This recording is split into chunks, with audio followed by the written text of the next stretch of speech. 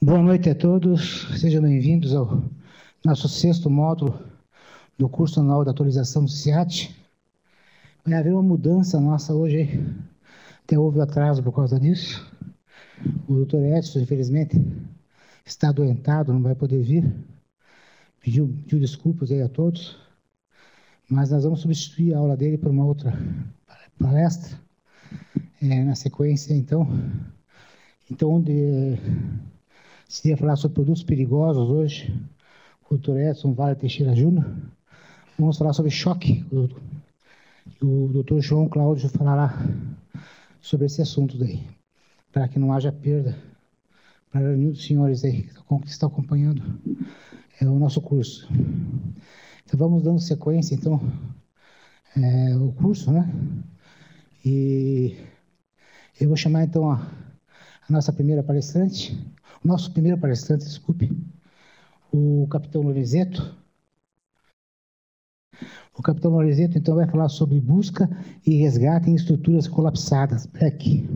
O capitão Daniel Lorenzeto é formado no CFO em 2001, capitão do Corpo de Bombeiros do Paraná, comandante do Grupo de Operações de Socorro Tático, OST, mestre em Engenharia Florestal pela Universidade Federal do Paraná, e tem especialização realizada em instituições militares das seguintes áreas: prevenção e combate a incêndios urbanos, prevenção e combate a incêndios florestais, busca e resgate com cães, sistema de comando de incidentes da Costa, US Coast Guard e gerenciamento de crises do BOP. Também negociação de crises da Força Aérea Brasileira, da FAB. Seja bem-vindo, capitão. Obrigado, obrigado. Bom, boa noite a todos e a todas. É, obrigado pelo convite, agradeço a que eu possa contribuir de alguma maneira para essa, essa atualização, parabenizar todos os envolvidos na organização. A gente sabe que não é fácil organizar um, um evento é, de especialização, instrução continuada, mas que é muito importante para nossa aumentar a capacitação do nosso pessoal aí o, o máximo possível. Tá? Então, o tema da nossa palestra aí é relativo à atividade de busca e resgate em estruturas colapsadas. Bom, é, com relação a esse tema, né, o, o, o que eu me proponho a falar hoje aqui. Inicialmente, eu vou passar a falar um pouco da contextualizar alguns eventos desse tipo de ocorrência é, ao longo da história, no contexto mundial, no contexto nacional e estadual. E peço para que vocês é, observem, vou passar alguns vídeos curtos de, de ocorrências reais, observe essas ocorrências e tentem é, refletir e se colocar no lugar das pessoas, das equipes que se propuseram a atender essas ocorrências, principalmente porque normalmente em ocorrências dessa natureza historicamente a gente tem vítimas fatais e vítimas também das equipes que vão prestar o atendimento em decorrência de vários fatores. Na sequência, eu vou falar dos conceitos, das formações de equipes, como é que funciona toda a organização da atividade. Vou passar a falar de, um, de como é desenvolvida uma operação de break e depois explicar como é que é o atendimento, como que está esse atendimento no nosso estado aqui, como é que é o desenvolvimento das atividades em havendo uma ocorrência dessa natureza.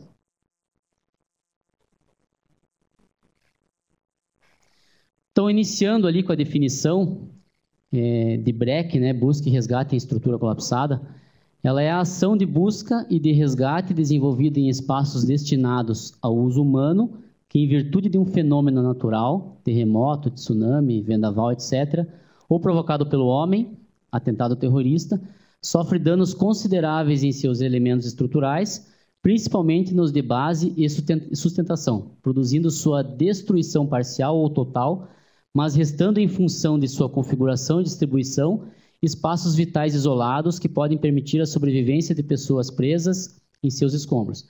Então o contexto ele é o, o, conceito ele é simples, ele é fácil de entendimento, mas necessariamente tem que existir ali os espaços isolados para que e isso que torna a ocorrência um tanto quanto complicada. Então, historicamente, como eu falei, eu vou passar algumas ocorrências, alguns eventos que são destaque para que a gente possa refletir.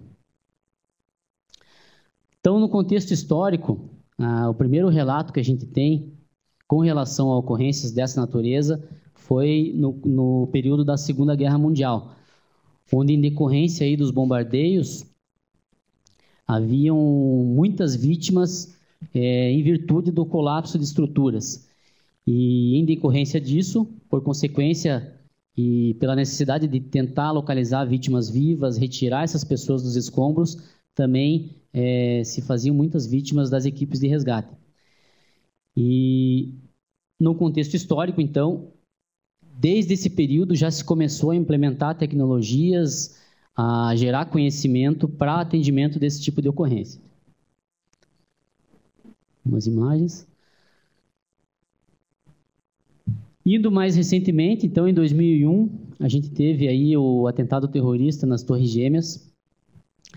Inicialmente teve o impacto dos aviões, na sequência tivemos ali as vítimas pelo incêndio, pelo, pelo trauma ali em decorrência do, do, do acidente. E num segundo momento, é, pelo colapso da estrutura. E daí a gente observa né, e verifica, e todo mundo acho que tem conhecimento disso, que nesse contexto a gente teve ali é, cerca de 343 vítimas fatais, que eram os bombeiros que estavam prestando atendimento dessa ocorrência, Fora ali as equipes policiais e equipes da área de saúde que é, tiveram desdobramentos em decorrência de, em virtude dessa ocorrência e sofrem aí sequelas até hoje. Então, para a gente ter a magnitude de uma ocorrência nesse sentido. Tivemos aí em 2004 o tsunami, né, que causou a morte de mais de 230 mil pessoas. Então, teve um terremoto e teve ações secundárias ali que levaram ao colapso de estrutura. Tivemos um terremoto no Chile mais recentemente, né? No, no Tierã, em 2017, um edifício de 15 andares, é, inicialmente iniciou com um incêndio, então uma ocorrência de certa forma é, cotidiana nossa, e em decorrência disso, várias equipes no local ali acabou ocorrendo o colapso de estrutura e houve ah, dezenas aí de pessoas feridas e bombeiros também. Observe ali um atendimento de um combate a incêndio que, que acontece aqui né, em Curitiba. Várias equipes no local e ocorre o colapso ali inesperadamente.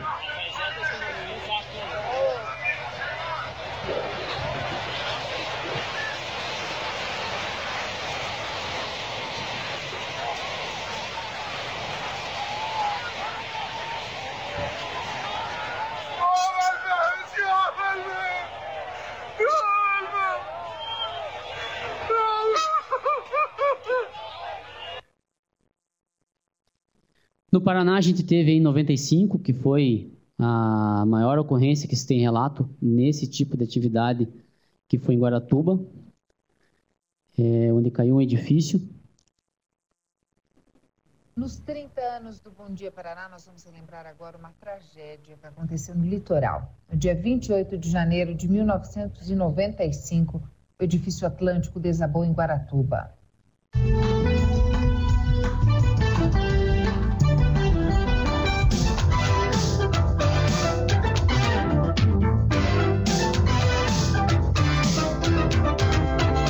Dia Paraná. Muitas pessoas vieram acompanhar o resgate. A imagem do prédio desabado era desoladora. Momentos de desespero para quem tinha amigos e parentes no prédio. O meu filho está lá dentro. Lá.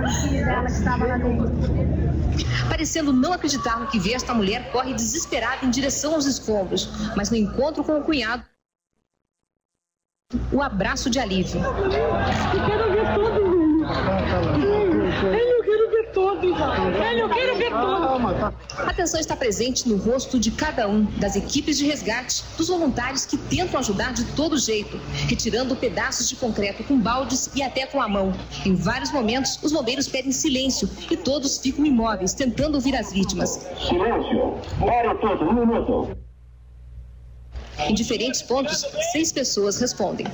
O resgate das vítimas é muito delicado. Neste local, uma garota está respondendo aos bombeiros e aqui a retirada dos escombros precisa ser feita aos poucos para não comprometer ainda mais a estrutura do prédio e evitar que uma laje caia em cima dela. Você tem peso em cima do peito? Então fique quietinha, tá? A gente chega aí logo, logo. Aqui o rapaz foi um dos primeiros a ser resgatado. Chegando na ambulância, o gesto emocionado de quem conseguiu sobreviver. Você, fica tranquilo, fica tranquilo.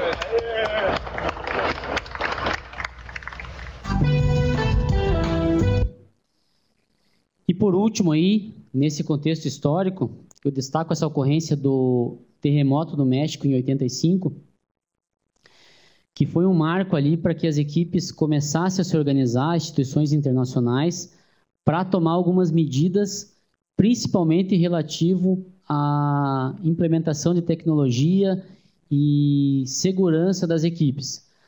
Então, nesse terremoto, é, foram dois ali, né? Inicialmente às 7 horas da manhã e nas 36 horas seguintes ocorreram réplicas.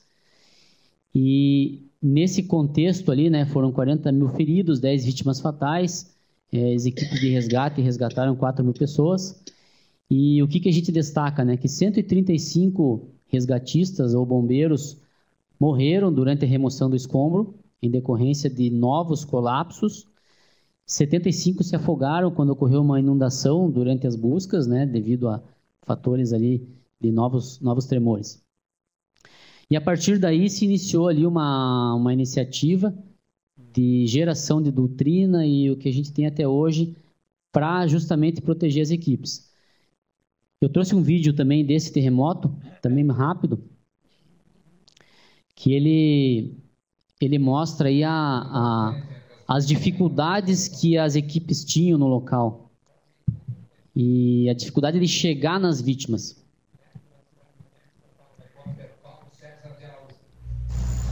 Com 18 milhões de habitantes, a cidade do México não está totalmente destruída pelos dois terremotos.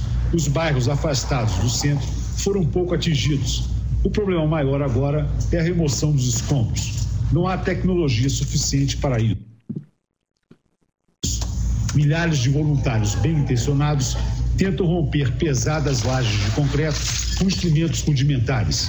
Picaretas e marretas são lançadas violentamente contra esses blocos e não surtem nenhum efeito. Lá embaixo há cadáveres, mas também há muita gente viva e não se consegue resgatá-las. É difícil encontrar sequer uma britadeira trabalhando nos escombros. Só com muita sorte alguém é salvo das ruínas. Esse senhor tirou daí um filho vivo e outro morto. Vamos ver o que, que podemos fazer na vida. Além dos edifícios e casas que desabaram, há uma infinidade de prédios que estão em pé, mas vazios foram abandonados pelos moradores porque suas estruturas estão abaladas. Poucos vão ser recuperados, a maioria vai ter que ser demolida. A ajuda dos países desenvolvidos começou a chegar. Um avião cargueiro militar americano desembarcou muitos técnicos, caminhonetes e três helicópteros para trabalhar no salvamento e remoção dos escombros. Cães da Califórnia também já estão aqui. Eles são especializados em encontrar corpos humanos, estejam vivos ou mortos. Os cães entram nos prédios desabados, farejam tudo e o lugar onde está o corpo é desenhado no papel pelo guia americano. As listas de mortos colocadas na entrada dos necrotérios continuam muito procuradas. Essas duas irmãs vão pela rua chorando a morte da filha e sobrinha.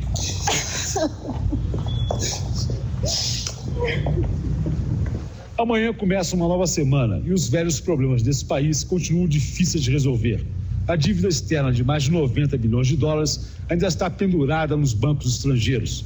Os prejuízos dos dois terremotos não foram calculados até agora. Não se sabe precisamente o número de mortos, nem o número de desaparecidos. Não se sabe exatamente quantos prédios desabaram, nem quantos estão condenados. Não se sabe muita coisa até. Muita gente entre as ruínas ainda pode. Mães vão pela rua chorando a morte da filha e su... Então, assim, é, por que, que eu trouxe esses vídeos? Para que a gente verifique que uma ocorrência dessa natureza vai ser muito difícil a gente acessar esses locais, tem muitos riscos, riscos decorrentes, né? E horas de trabalho. Então, tem que ser um trabalho muito minucioso, muito delicado, para que as vítimas que estejam ali não, não ocorram novos colapsos e seja cada vez pior a situação. Bom, então, iniciando ali a parte conceitual, né? O que, que é a definição de estrutura colapsada? Né? Eu já comentei no início, é, é, o colapso de estrutura que necessariamente vai ter que formar os espaços vitais ali para que a gente inicie a atividade da, da, do acesso e a retirada dessas pessoas ali vivas, né, de preferência, e as em óbito ali a gente também vai ter que fazer esse acesso e remover de uma forma que não prejudique ainda mais a situação e o contexto da, da ocorrência.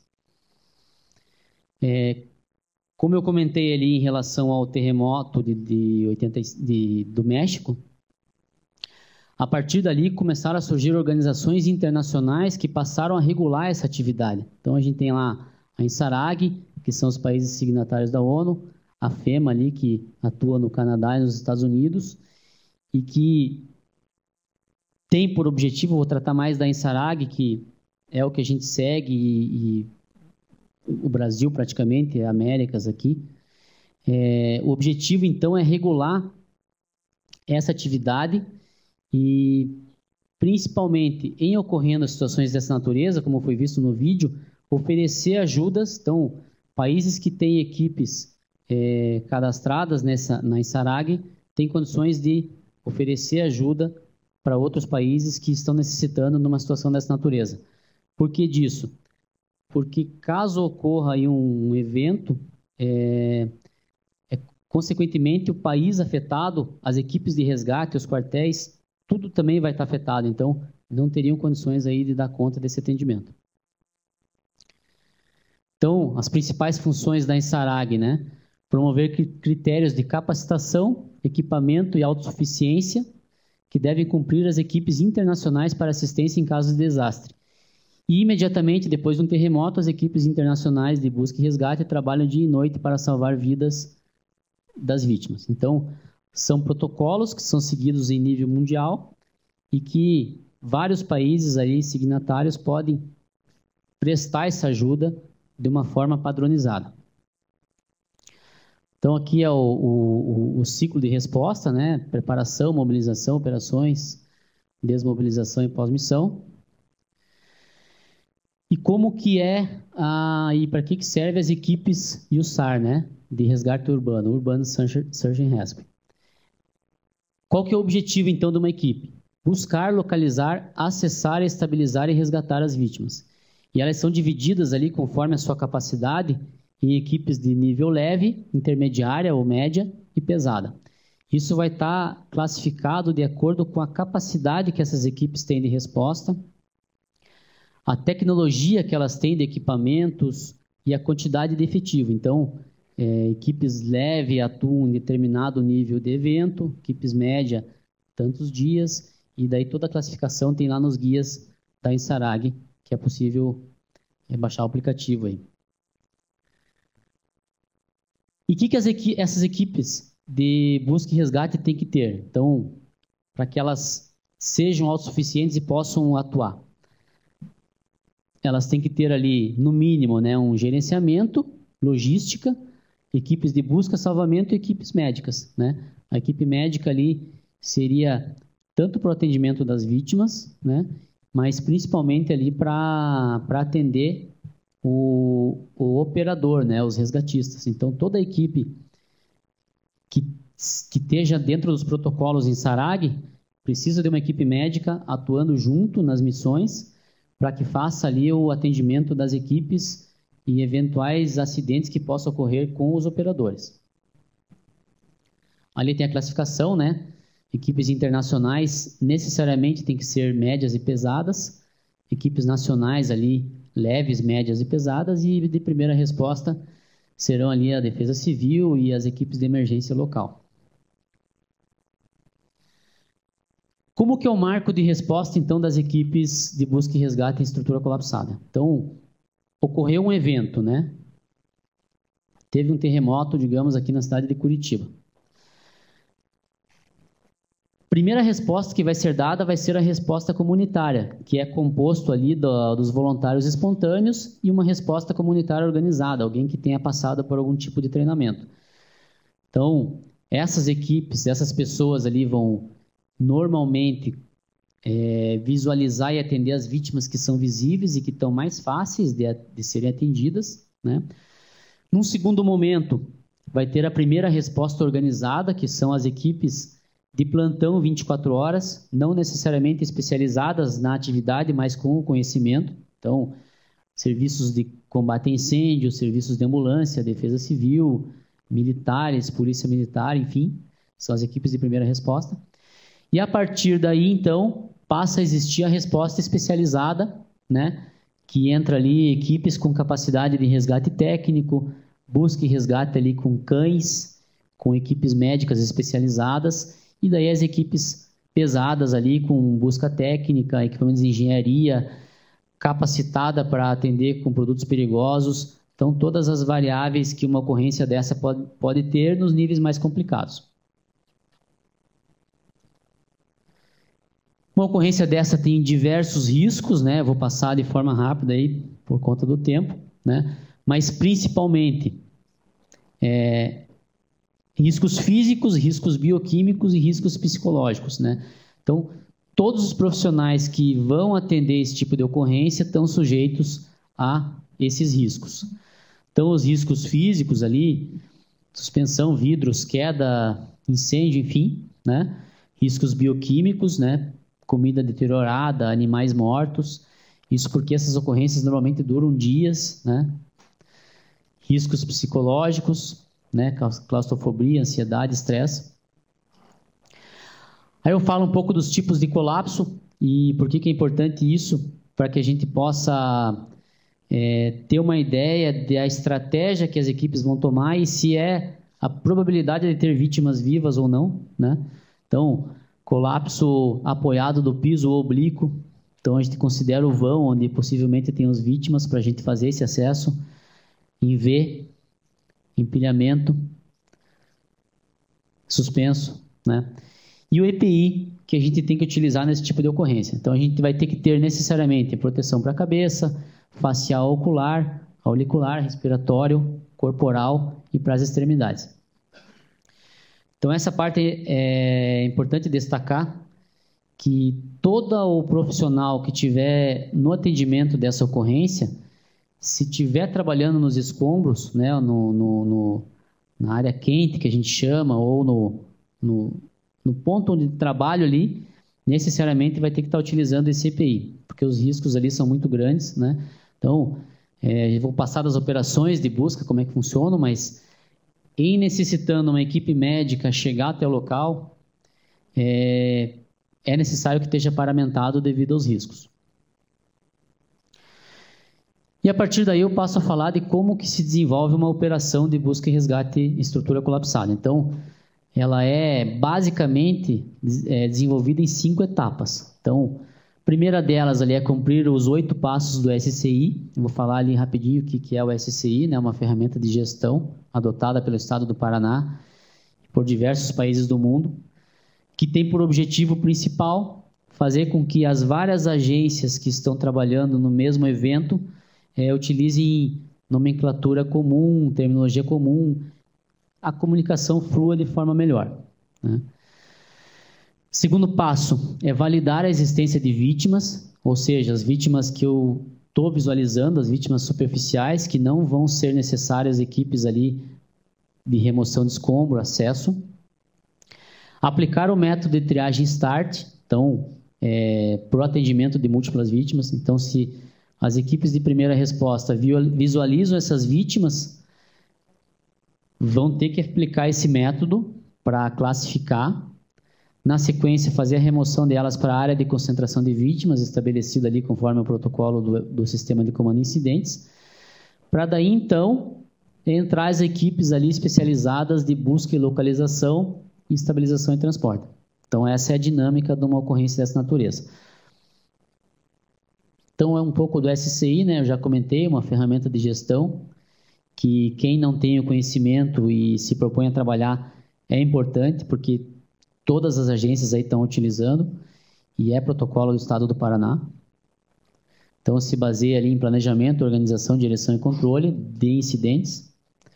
E aqui aqueles passos que eu comentei. Então, o início da operação, estabelecer o SCI, verificar as vítimas, aplicar o método START, e daí sim entraria as equipes ali especializadas em busca e localização e sinalização para daí é, fazer os acessos.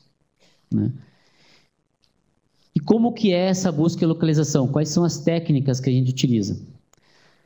Primeira técnica que a gente utiliza é a técnica chamada escuta. Né? Então a gente tem duas imagens ali, que é, é a equipe de break vai percorrer por cima dos escombros ali, visual, com visual e chamando, tentando escutar vítimas. Não sei se viram no vídeo ali de Guaratuba. Tá me ouvindo? Tinha o Coronel Marques ali, que acho que ele é capitão na época.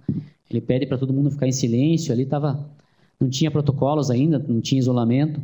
Mas o objetivo dessa técnica é escutar as vítimas, sinalizar, para daí fazer os acessos. Então a primeira técnica é essa. Não tendo efeito, evolui para as técnicas ali de busca e resgate com cães ou busca com aparelhos, busca técnica que a gente chama, né? É, para tentar localizar as vítimas que não estão no visual ou que não respondem, né? E a partir das vítimas localizadas, aí sim entrariam as equipes para fazer os acessos, remoção de escombro e daí horas e horas até chegar naquela vítima localizada ou, ou indicada por um cão ou com algum equipamento especializado. Voltando então ao marco de resposta, né? Eu coloquei isso para a gente relembrar, é, para dizer como que funciona esse atendimento aqui no estado do Paraná. Né? Então, o estado do Paraná ele tem é, uma iniciativa aí da Defesa Civil Estadual. É, recentemente, o ano passado, foram adquiridos e foi estabelecido a Força Tarefa Estadual que envolve aí atendimento de desastres. Então, inicialmente se propôs ali a atividade de busca e resgate em estrutura colapsada e atividade ali de alagamento, enchente, salvamento em águas rápidas. Né? É dois, dois minutos do capitão. Tá. Então, o que, que foi feito aí nessa, nessa atividade? Foram, foram comprados vários equipamentos e capacitado 10 bombeiros com equipamentos aí de, de, de primeira qualidade das, de cada unidade operacional do Estado, então das 16 unidades operacionais. Em havendo um evento de busca e resgate em estrutura colapsada, é, esses bombeiros capacitados de cada unidade vão dar a primeira resposta e as outras 16 unidades podem ser imobilizadas para formar essa força-tarefa e dar esse atendimento. Isso considerando uma equipe nível leve e busca superficial. Em sendo necessário apoio especializado, Aí nós temos ali o, o, a unidade aí que eu trabalho, que é o Ghost, que daí entraria ali com os cães, a gente tem os cães de busca, tem os equipamentos de escoramento, de acessos, para fazer, a, adentrar as estruturas e dar esse apoio aí na, na, na, nessa atividade.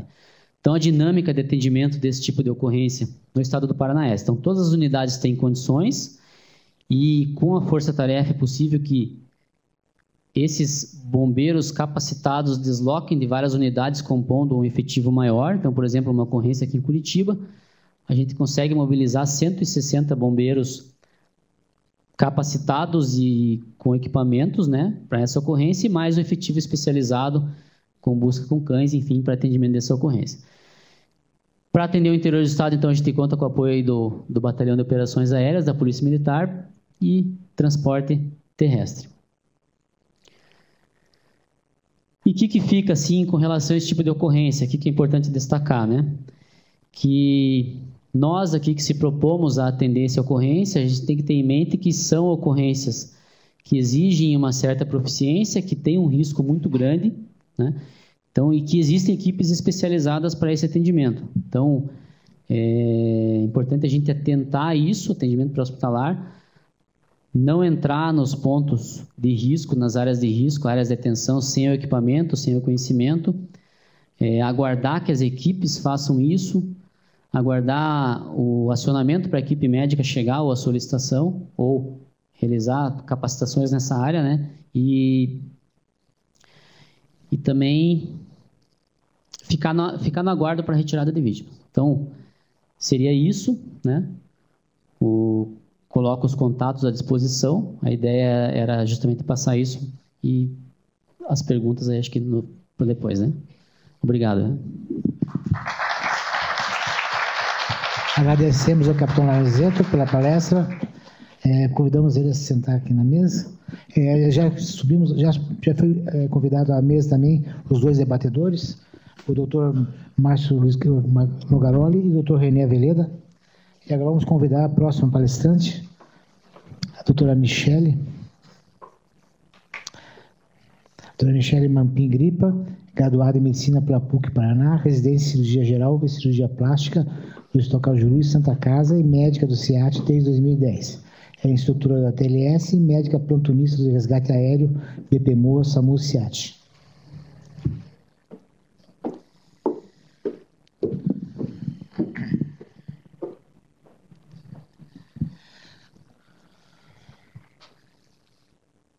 Boa noite. Hoje eu não estou como moderadora, né? era a intenção até o final do ano, mas hoje vou falar. Então, o tema hoje proposto para mim foi sobre queimaduras. Até seria uma sequência da aula do Dr. Edson, que era sobre produtos perigosos, mas houve essa pequena intercorrência aí. Antes de mais nada, gostaria de agradecer ao Dr. Acioli, Dr. João, pelo convite, à comissão organizadora e gostaria de fazer também três agradecimentos é, que colaboraram com a minha aula. Foi o Dr. Renê, que está na mesa, o Dr. Stefanelli, do Grau São Paulo, e o meu professor, Dr. Rogério Bittencourt. Então, vamos lá. Vamos dar sequência. Primeiro, quando a gente fala em queimadura, nós temos que saber quais são os tipos de queimadura. Não existe a queimadura por fogo, não existe a queimadura por água quente? Não, existem vários tipos. Existem as queimaduras térmicas, calor e frio, só salientando que a queimadura por frio, por ser mais raro e devido ao tempo restrito, não vou falar no, nesse, nessa oportunidade. As queimaduras químicas, extrema importância, e as queimaduras elétricas. Então, agora eu vou passar para vocês um vídeo bem rapidinho. Vocês estão de plantão, assumindo ao plantão, chegaram bem sossegado, estão lá sentados e chamam para uma ocorrência. Viliano, se possível, vocês chegam e se deparam com essa situação.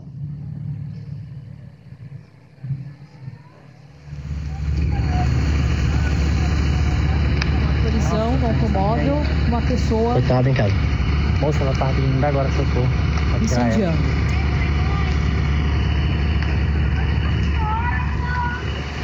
Agora vem. Nunca presenciei uma situação dessa, graças a Deus. Já presenciei corpos é, carbonizados, mas isso, graças a Deus, nunca.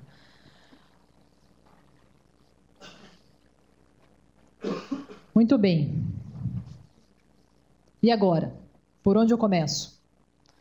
Né? Primeiramente, se você está com uma equipe do bombeiro junto que pode fazer o resgate dessa vítima, ótimo, né? Você não vai se, lá no meio do fogo pegar a vítima. Mas vamos considerar que essa vítima está no interior da sua ambulância, uma vítima, uma grande queimada. Por onde, como é que eu vou tratar essa vítima? Eu, no pré-hospitalar, o que, que eu posso fazer para ajudar essa vítima que está na minha ambulância, extremamente queimada, precisando de ajuda? Então vamos lá, iniciando. Queimaduras por calor. É alta a mortalidade e morbidade dessas lesões. Como é que eu vou começar? Eu vou começar pelos princípios básicos de reanimação inicial do trauma. Se eu sou uma, ambulância básica, é o BLS. Se eu sou avançada, vai ser o ATLS, com algumas particularidades relacionadas ao queimado. Vou iniciar pela remoção do ambiente causador, vou verificar se há ou não comprometimento das vias aéreas, se tem ou não lesões por inalação, que existem algumas características que nós vamos, vamos comentar mais para frente. Vou iniciar ou não volume para essa vítima, mas não teve perda de sangue, ela não está chocada, preciso fazer volume. Vou realizar controle de hipotermia, vou pensar em lesões mecânicas associadas, esse caso foi uma colisão de carro. Será que ela não tem um trauma torácico? Não tem um TCE? Não tem uma fratura de pelve associada? Pode. E a gente tem sempre que lembrar que quando a gente vai tratar um grande queimado isolado, existe uma grande diferença que é o quê? A extensa resposta inflamatória sistêmica.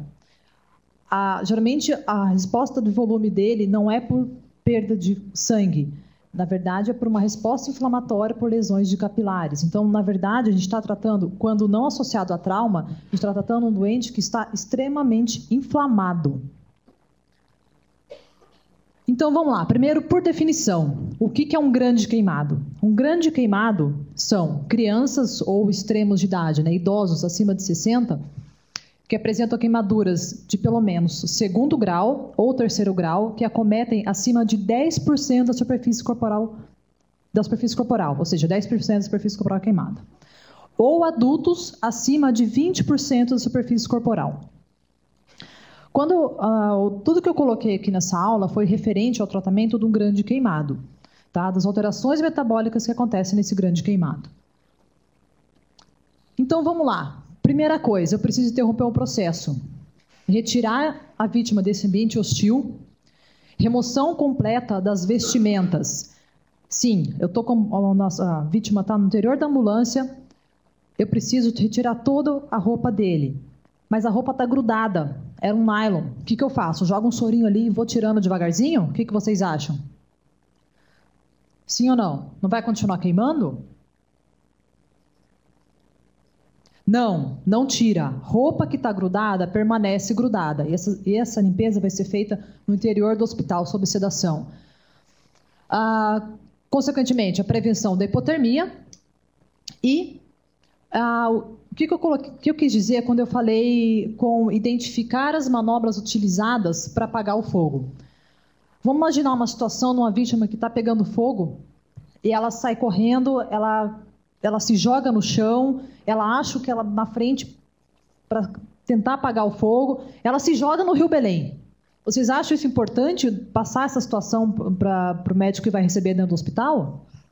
Sim, a paciente que está extremamente contaminada, paciente que está sujo. Então, é importante, quando fazendo, na hora que vai fazer história, saber se essa vítima ou não usou algum método para cessar o processo de queimadura.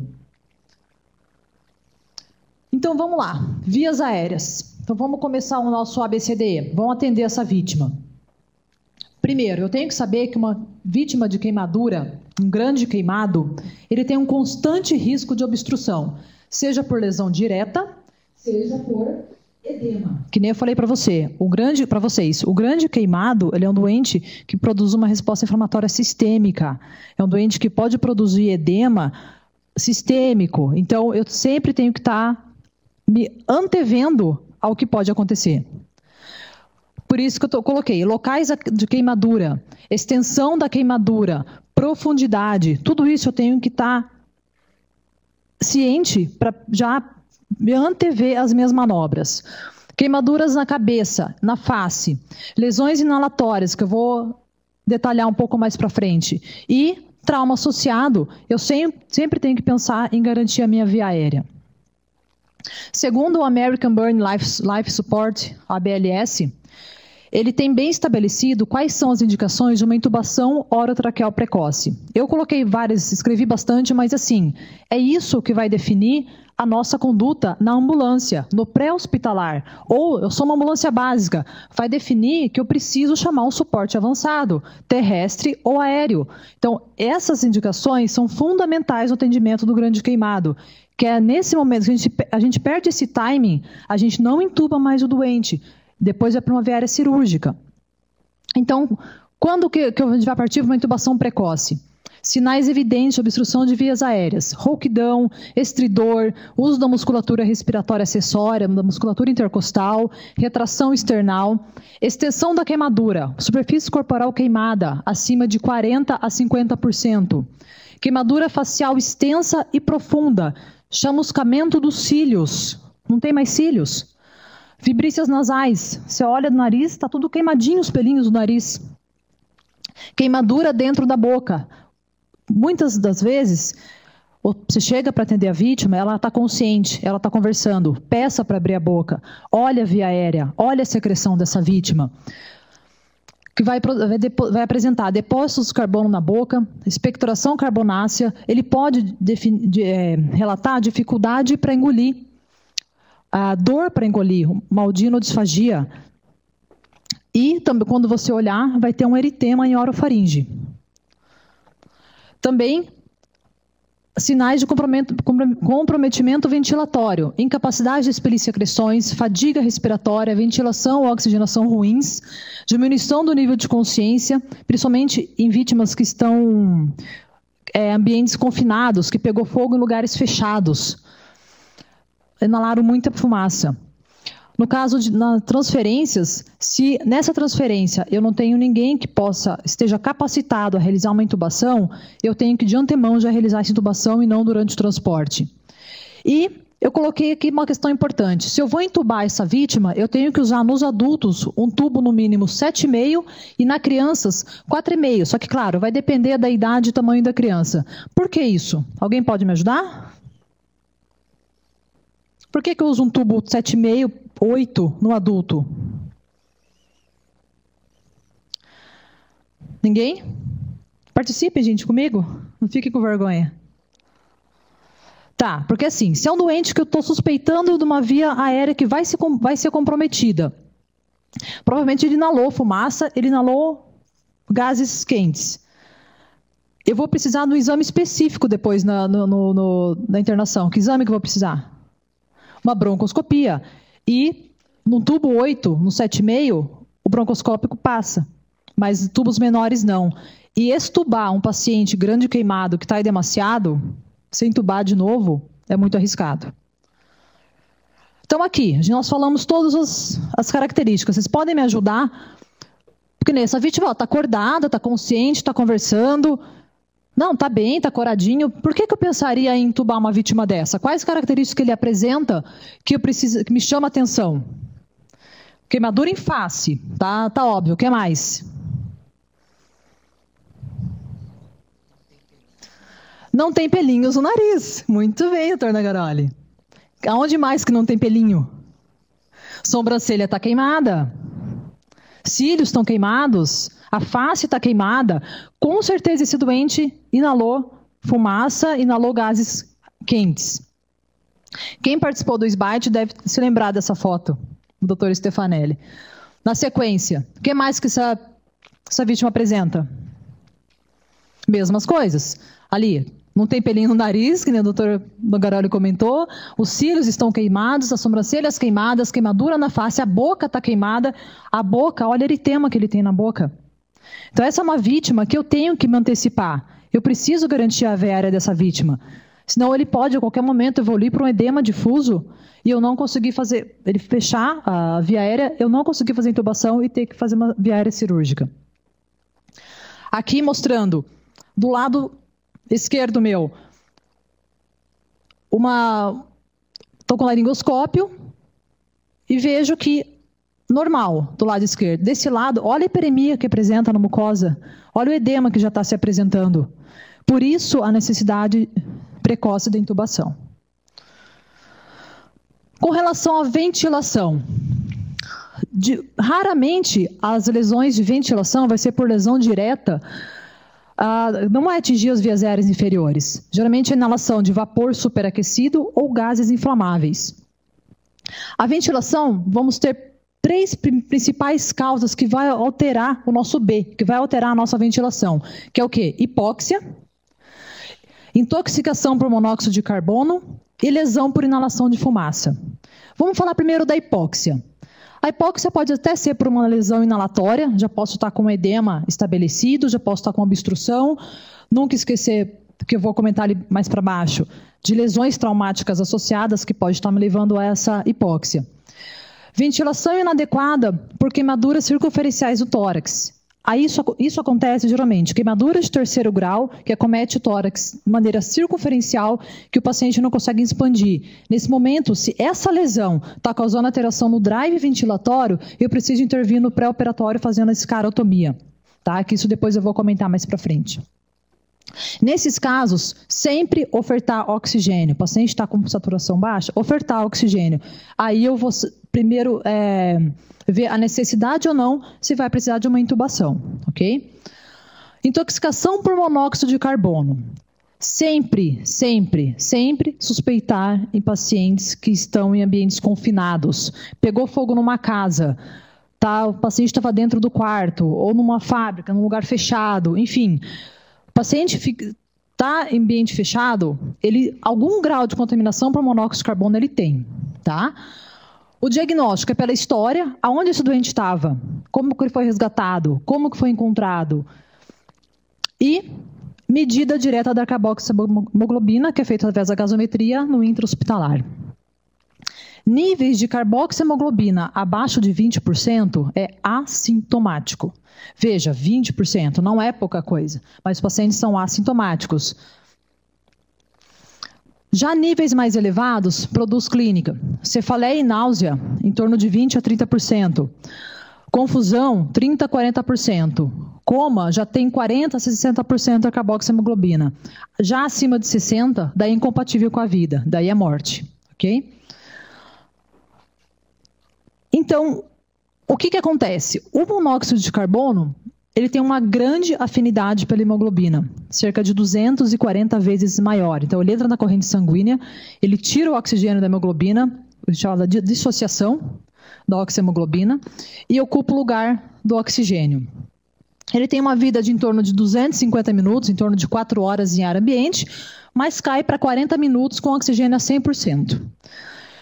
Então, como eu comentei anteriormente, sempre suspeitar de inalação, intoxicação por monóxido de carbono, mesmo pacientes assintomáticos, e oferecer oxigênio em alto fluxo, máscara unidirecional com reservatório em torno de 4 a 6 horas.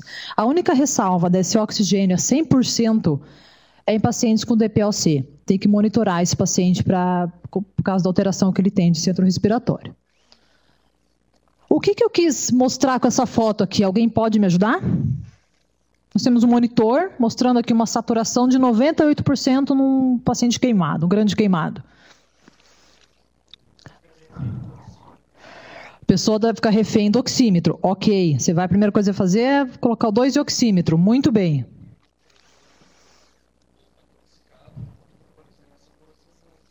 Ótimo. Você que assistiu a aula da SBITE, o que foi falado lá? que o monitor do o oxímetro, ele não lê, ele não sabe diferenciar se ele está lendo monóxido ou está lendo oxigênio. Então está tudo ótimo, 98%, chega a 100%. Só que ele está totalmente intoxicado por monóxido de carbono. Tá? Então não confie em pacientes intoxicados por monóxido de carbono, não confie no monitor, no oxímetro. Tá? Você tem que ir pela história do doente. E esse aqui? Tá tranquilinho coradinho, deve estar com uma saturação boa, né? 98 a 100, bonitinho. Então, ele está em óbito. Esse é um óbito por intoxicação por monóxido de carbono. Não é uma condição uh, comum de se ver. É uma condição até um pouco mais rara. Mas aquela, aquilo que eu comentei para vocês, que a intoxicação acima de 60% produz morte, é, vai produzir essa coloração vermelho cereja, mas é uma situação um pouco mais, mais rara. E a inalação de produtos de combustão? Bom, geralmente são partículas de carbono e fumaças tóxicas que se depositam nos bronquíolos, nos bronquíolos distais, tá? Acarretando dano e morte das células da mucosa. Essas células da mucosa produz, essa morte celular produz os debris celulares que vão obstruindo esses bronquíolos e como consequência pode apresentar pneumonia, telectasias, enfim, várias complicações respiratórias. E além do que, essa resposta inflamatória na, na, na na árvore traqueobronquica, principalmente os bronquíolos distais, produz um edema na parede dos alvéolos que faz com que o O2 que chega, ele não consegue fazer uma troca de forma adequada, levando também a, a baixa oferta de oxigênio. E o que olha só o que é muito importante, se eu pego dois doentes queimados, um 50%, outro 50%, um foi uma queimadura que ele não teve inalação por, por produtos de combustão, o outro inalou. A chance do que inalou de morte, ela, é, ela dobra. A gravidade, então, da, da questão dessa inalação de produtos de combustão. E o que, que a American Burn Life Support usou como critérios para o diagnóstico de inalação de produtos de combustão? Primeiro, teve história a um agente combustível, ou seja, aquelas fumaças enegrecidas, o paciente esteve exposto a isso, e sinais de exposição à fumaça na via aérea inferior, através do quê? Da broncoscopia. Então, tem que fechar esses dois, esses dois, dois critérios para fechar o diagnóstico por inalação de produtos de combustão. Então, aqui, imagina, uma tá no meio do incêndio com a fumaça assim, e essa foto de baixo, da onde que é? Boate Kiss, né? Todo, todo mundo já sabe, todo mundo já viu, todo mundo isso já foi bastante falado, mas a intoxicação por cianeto, né, por produtos é, plásticos, enfim, da, do, do, da combustão de, de, produtos, e, e que muitos desses morreram justamente pela intoxicação do cianeto, que pro, existe um antídoto que não, não, não, era, não é disponível, não era pelo menos disponível no Brasil. Sei que o, o kit, cada kit custa em torno de 500 reais por unidade né, desse antídoto. Aqui também mostra né, as pessoas expostas sem proteção a essa fumaça tóxica. E aqui, a, na, onde os corpos foram colocados para identificação, pode ver que muitos não apresentam assim, queimaduras extensas, né? mas foi a morte por inalação de produtos de combustão. Aqui, um artigo do Reino Unido, em que ele fala da o manejo crítico né, e, severo da, das, das, lesões por, por inalação, né, as lesões inalatórias. É, veja aqui, é um artigo agora recente, de 2017, mas que ele fala dos fatores de riscos para a lesão por inalação, que é muito o que a gente comentou até agora.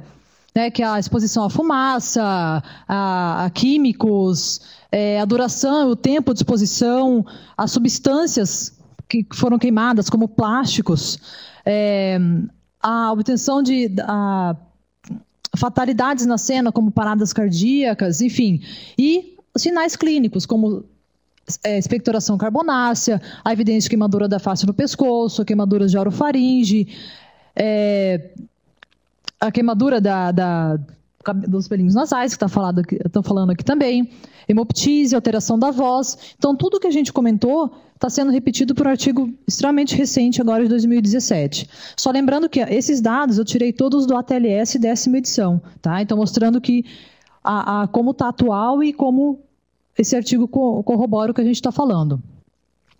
Ótimo. Circulação. Nem sempre a avaliação da circulação é fácil. Geralmente o paciente tem extremidades estão queimadas, é difícil ver a capilaridade, difícil estar tá demasiado, difícil ver o enchimento capilar. Eu tenho que descartar outras lesões, ele pode ser um, um, um politraumatizado associado. Então, na verdade, quando eu vou restabelecer o volume de um grande queimado, exclusivamente um grande queimado, eu não estou restabelecendo o volume por choque hipovolêmico. Eu estou restabelecendo, volume, digo sangue. Ele é hipovolêmico, mas não é perda de sangue. É uma, é uma alteração dos capilares. Ele está extremamente demasiado, ele está vasodilatado, ele está perdendo uh, pelos capilares. Então, é isso que eu estou correndo atrás quando eu vou fazer a reanimação desse doente. O que, que o ATLS décima edição preconiza? Dois acessos venosos calibrosos, no mínimo 18. A nona edição falava em 16, agora é 18. Preferencialmente, membros superiores. Pode ser através da pele queimada? Sim, pode. Evitar membros inferiores pelo risco de flebite, e ele fala até em flebite séptica de, de ver safena. Se não é possível membros superiores, eu vou tentar um acesso central ou até uma intraóssea, mudar quando possível. Preferencialmente ringer lactato. Como geralmente o volume que a gente faz é um volume grande, por que não soro fisiológico? para evitar o que se chama de acidose hiperclorêmica. Então, de preferência, usar ringer lactato. E, o quanto antes, sondagem vesical. Pode ser feita até no pré, mas geralmente é uma, é uma manobra feita no intra. Ainda se usa a fórmula de Parkland, todos já devem conhecer, só que o que mudou na décima edição do ATLS? Antes era de 2 a 4 ml por peso por porcentagem de, é, porcentagem de superfície corporal queimada. Agora está estabelecido que para adultos é 2 ml vezes o peso vezes a porcentagem da superfície corporal queimada. Metade, isso não mudou. Metade do volume nas primeiras 8 horas, outra metade nas 16 horas. Lembrando que essa metade nas 16 horas, o que vai definir se vai vão ser feitos mesmo os, todo o restante, vai ser avaliação clínica e principalmente débito urinário, que eu vou falar aqui na sequência. Crianças, ficou estabelecido 3 ml vezes o peso vezes a porcentagem da superfície corporal queimada. E crianças menores abaixo de 30 quilos, associar soro glucosado 5%, evitando hipoglicemia. Com relação ao débito urinário, que é muito importante na reanimação do queimado. Adultos, o objetivo a ser atingido é meio ml por quilo hora ou crianças 1 ml por quilo, por quilo hora nas crianças menores. Aqui tem uma tabela, essa é a tabela aqui do ATLS décima edição. Então mostra aqui, ó, adultos ou crianças acima de 14 anos, a fórmula de Parkland com 2 ml e a objetivo da, do urinário, meio ml por quilo hora ou 30 a 50 ml hora. Crianças menores, 3 ml por, por quilo por porcentagem corporal queimada. E crianças menores, 3 ml, lembrando de acrescentar o ringer lactato, ok? E queimaduras elétricas, que eu vou falar um pouco mais para frente, continua estabelecido os 4 ml de ringer lactato vezes o peso vezes a porcentagem corporal queimada. E aumenta um pouco o objetivo do débito urinário, que é de 1 a 1,5 por quilo por hora, até clareamento da urina, caso apresente a rabdomiólise. Quando a gente fala em superfície corporal queimada, ainda se utiliza -se a regra dos nove. Essa regra foi criada por um, um médico chamado Wallace, em 1951, e ainda não se achou outra maneira mais adequada de substituir o cálculo dessa porcentagem. Se eu vou calcular a área eu achei que a área está irregular, eu não consigo definir bem ao certo quanto é, eu vou pegar a palma do, da palma da mão do doente e vou definir, é, representa 1%. Então, eu defino a área através da palma da mão do doente. Então, para ter uma, uma, área estimada. Lembrando que queimaduras superficiais de primeiro grau não conta, não, tá, não entra nesse cálculo. São queimaduras de segundo grau para frente. E criança difere do adulto. O quê? O que, que é tão diferente da criança para o adulto? Cabeça, muito bem. A cabeça do, da criança, quando a gente vai calcular, é o dobro do adulto. Tá? Vou mostrar aqui rapidinho. Então, aqui, ó, a criança, a cabeça a frente e atrás, 18%. No adulto, a cabeça toda é 9%. E as perninhas também são um pouco menos do que no adulto. E a, o dorso. Mas isso ainda continua vigente. Essa foto também é do, da décima edição. Profundidade. Por que é importante saber profundidade? Para avaliar a gravidade, planejar tratamento e prever resultados funcionais e estéticos para esse doente. Primeiro grau. Vai ter eritema, dor, ausência de bolhas. Epiderme intacta, isso é muito importante. Epiderme intacta, a dor é moderada, tá? O famoso, famoso torrão que a gente toma na praia, né? Segundo grau, ou espessura parcial, aparência vermelha ou mosqueada, presença de bolhas e edema, hipersensível à dor e lacrimejante. Então, aqui, exemplos de queimaduras de segundo grau. Terceiro grau ou espessura total. Costumam ser escuras ou esbranquiçadas, aspecto de couro ou cera, indolor, geralmente seca, e geralmente o edema, porque no sistema de terceiro grau tem outras associadas. O edema é ao redor. Então, aqui, lesões características de terceiro grau. Está vendo que nessa mãozinha está até destacando essa região, que é uma queimadura que pegou toda a espessura da derme atingindo o tecido celular subcutâneo. Tem um trabalho, esse trabalho aqui também do Reino Unido, em que ele mostra uma classificação que até na, na plástica era o que a gente utilizava, a gente utiliza, em que ele caracteriza em queimadura superficial, como primeiro grau, com a derma intacta, superficial, ah, parcial, é, superficial profunda, em que acomete a profunda vai atingir os folículos pilosos, ou um pouco abaixo.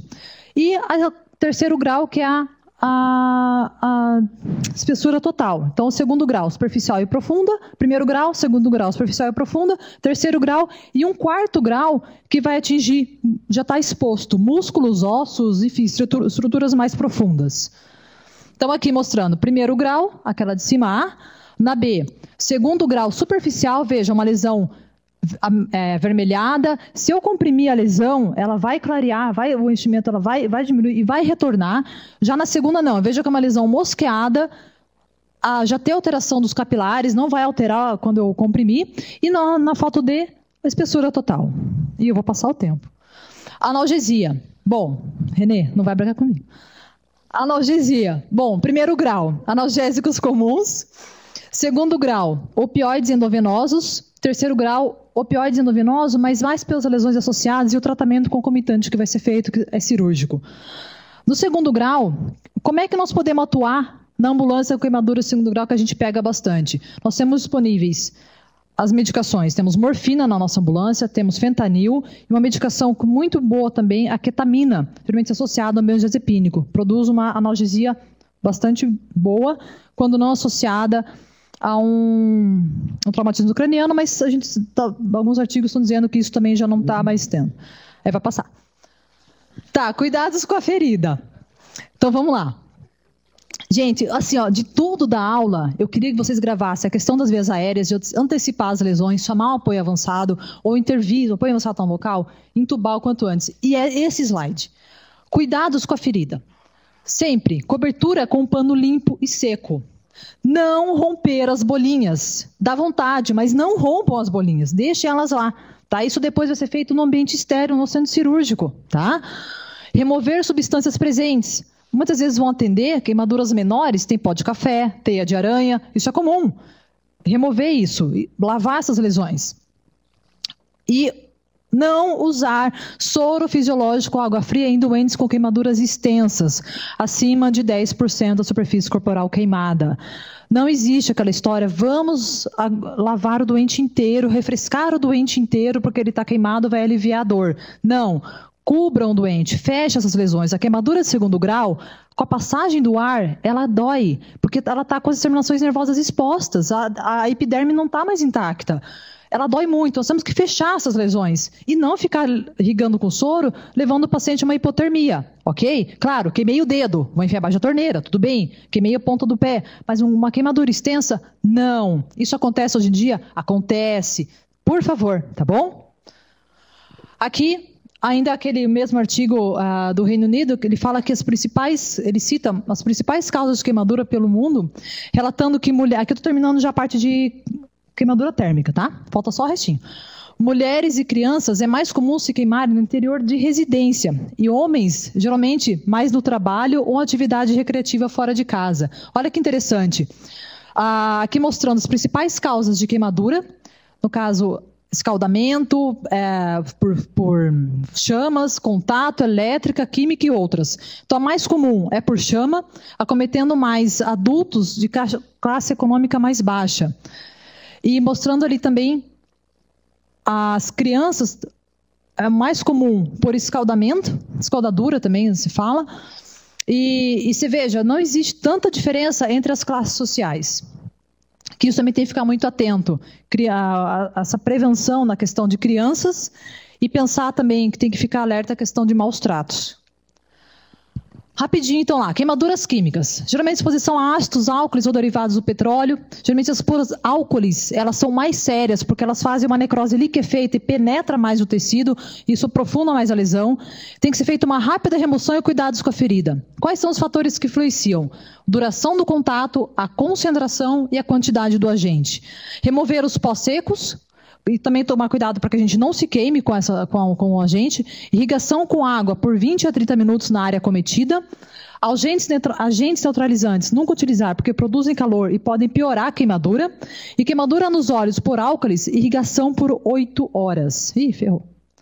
Então, lá, uma queimadura no olho por álcali, extremamente feia.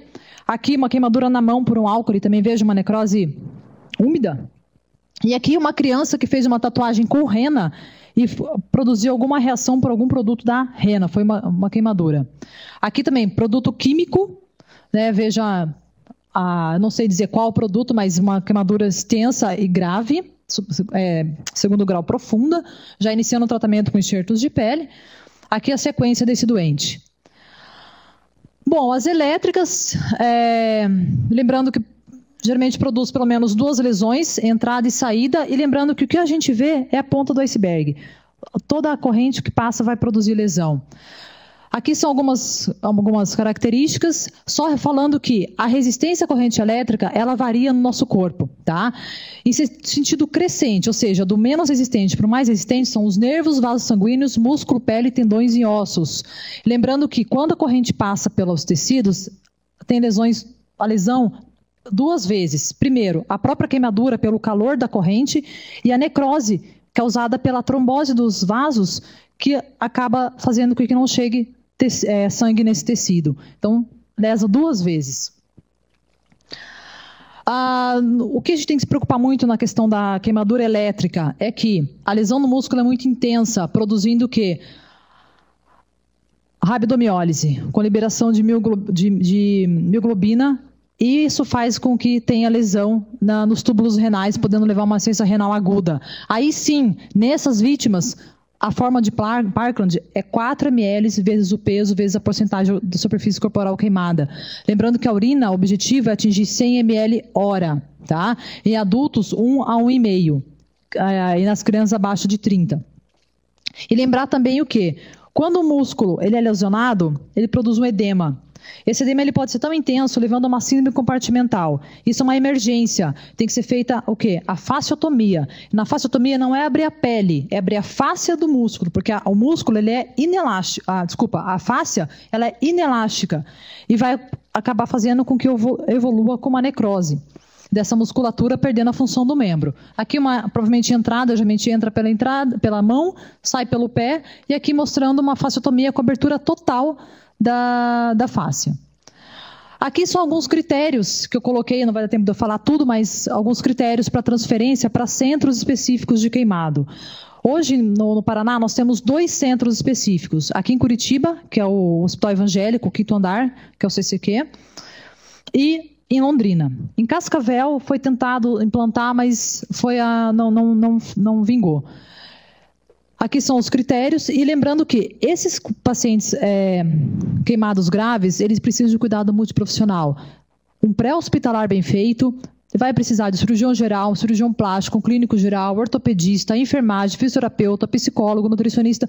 Por isso, a importância desses pacientes serem tratados em centros específicos de queimado. No caso, esses grandes queimados. Porque olha só, se não é tratado de maneira adequada desde o início, a sequela é para o resto da vida. Ainda mais quando acomete algumas áreas específicas, como cabeça, pescoço, genitália, mãos, pés. Por isso que esse doente precisa de um tratamento adequado. Veja, uma criança poderia evoluir da mesma forma que aquela outra, porque a ferida, com o passar do tempo, ela, ela, continua trabalhando e produz a contratura. Isso é patológico. Essa, essa moça, no caso, foi tratada no centro específico. Essa outra criança, imagina, uma criança não ia andar com esse pé, tratado de maneira adequada. E aqui, esse foi um dos primeiros casos de transplante de face, foi é um bombeiro, uh, com, esse, com esse grau de queimadura, qualidade de vida zero, né? Foi um dos primeiros casos de transplante de face, que está se encaminhando para isso agora a nível né, do mundial. No Brasil ainda não. E aqui, é, Aqui mostrando o efeito da admissão primária dos queimados no, no, no, no centros de queimado, que o tempo de internação é menor, reabilitação é maior, que o único critério já justifica a transferência, e em homenagem ao setembro amarelo, um trabalho mostrando aqui da Intentional Self-Inflicted Burn Injuries, uma revisão da literatura né, da, da auto, autoagressão. Quando eu fiz a residência, eu, a gente passa dois meses direto lá no evangélico, dois meses ininterruptos. E são N as causas de queimadura. Maus tratos, é, funcionário da Copel que, é queimado no, nos postes. E uma das causas muito comuns é a tentativa de suicídio, que deixa sequelas irreparáveis para o resto da vida. Ainda mais se não é tratado num, num grande centro de queimado. Gente, desculpa a correria agora no final, não deu para falar tudo, mas é isso aí. Obrigada. Agradecemos, doutora Michelle. Não precisava ter corrido tanto, não. Eu não ia, não ia suspender a sua palavra, não. Poderia continuar. Vamos convidar então o terceiro palestrante, doutor João Cláudio.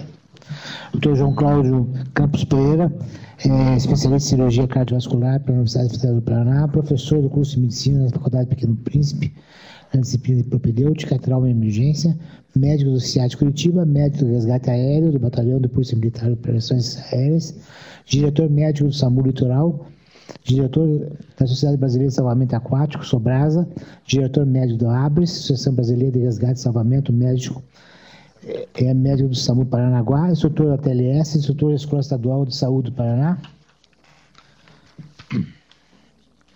É, vai falar sobre choque, então, para nós. Bom, é, boa noite a todos. É, bom, inicialmente, só para a gente esclarecer, eu sei que o doutor Assiola já falou sobre isso, a, a, gente tinha uma outra programação, mas acho que o choque foi uma questão que foi pedida em outras situações, não estava programada para esse ano, e a gente resolveu colocar. Okay? Vou tentar segurar o máximo possível dentro, dentro do nosso tempo. Vamos lá, pessoal, o que, que é o choque? Será que o choque é isso? Também, mas aí se for isso, a gente volta para a palestra anterior. Né? Não tem nada a ver com o que a gente vai falar agora. Né? Isso aqui também é choque? Claro que sim. Mas não é esse choque que é o objetivo do que a gente agora vai trabalhar, ok? O que é o choque para a gente? O choque é uma coisa bastante complexa e o choque ele foi descrito inicialmente, eh, já em 1872, como um desarranjo grosseiro da máquina da vida. Ou, pior ainda, né, se a gente for ver o que John Collins escreveu, foi como uma breve pausa antes de morrer. Ah, isso já demonstra para a gente que é um tema bastante complexo e com uma gravidade realmente bastante significativa. Como que a gente vai definir o choque? O que é isso, né? O que, que acontece no choque? Aqui é, tem uma imagem que mostra as hemácias e a gente vai ter uma diminuição de um item que é bastante importante e que participa ativamente aí do nosso metabolismo celular, que é o oxigênio. Então a gente precisa do oxigênio de forma adequada para que a gente consiga é, manter a homeostase celular. Quando a gente tem um quadro de choque, por definição, a gente tem uma diminuição, a gente tem uma diminuição da perfusão tecidual. Consequentemente, a gente não vai conseguir levar o oxigênio de forma adequada até todos os tecidos, ok? Então, a perfusão, a, perfusão tecidual, ela acaba caindo e a gente não consegue ter é, uma adequada resposta. Aqui uma figura que só mostra para gente como que é feito aproximadamente uh, o sistema aí de troca gasosa né, entre pulmão e os vasos sanguíneos. Né? Então, isso chama-se hematose, é quando a gente é, faz a troca, a gente retira gás carbônico e a gente deixa oxigênio e vice-versa, ok? Então, o que, que é o choque por definição? É essa ausência de perfusão tecidual em nível celular que conduz ao metabolismo anaeróbio Tá? E isso faz com que haja uma perda da produção de energia necessária para o suporte da vida, ok? Por quê? Porque a quantidade de ATP que a gente produz no metabolismo anaeróbio é muito inferior ao que a gente produz no metabolismo aeróbio, na respiração, ok? Então a gente acaba perdendo a capacidade que nós temos de produção de energia. Tá? Então, quando a gente trabalha isso aqui, a gente vai falar que o choque ele tem um papel muito grande nos pacientes vítimas de trauma. Por que isso? Porque o choque, claro que a gente vai dividir o choque em diversas situações, mas quando a gente está pensando em trauma, a gente está pensando mais num choque hipovolêmico, num choque hemorrágico. Mas é claro que o, aqui a gente não pode trabalhar só com o trauma. Né? Os choques eles também podem evoluir de outras maneiras nos pacientes clínicos e a gente vai dividir isso depois para vocês. Então a gente pode ter o choque obstrutivo, o choque cardiogênico, a gente pode ter um choque neurogênico que também acontece no paciente vítima de, vítima de trauma. Enfim, a gente pode ter choque é, obstrutivo, né, distributivo. Existem algumas maneiras é, da gente classificar o choque, tá?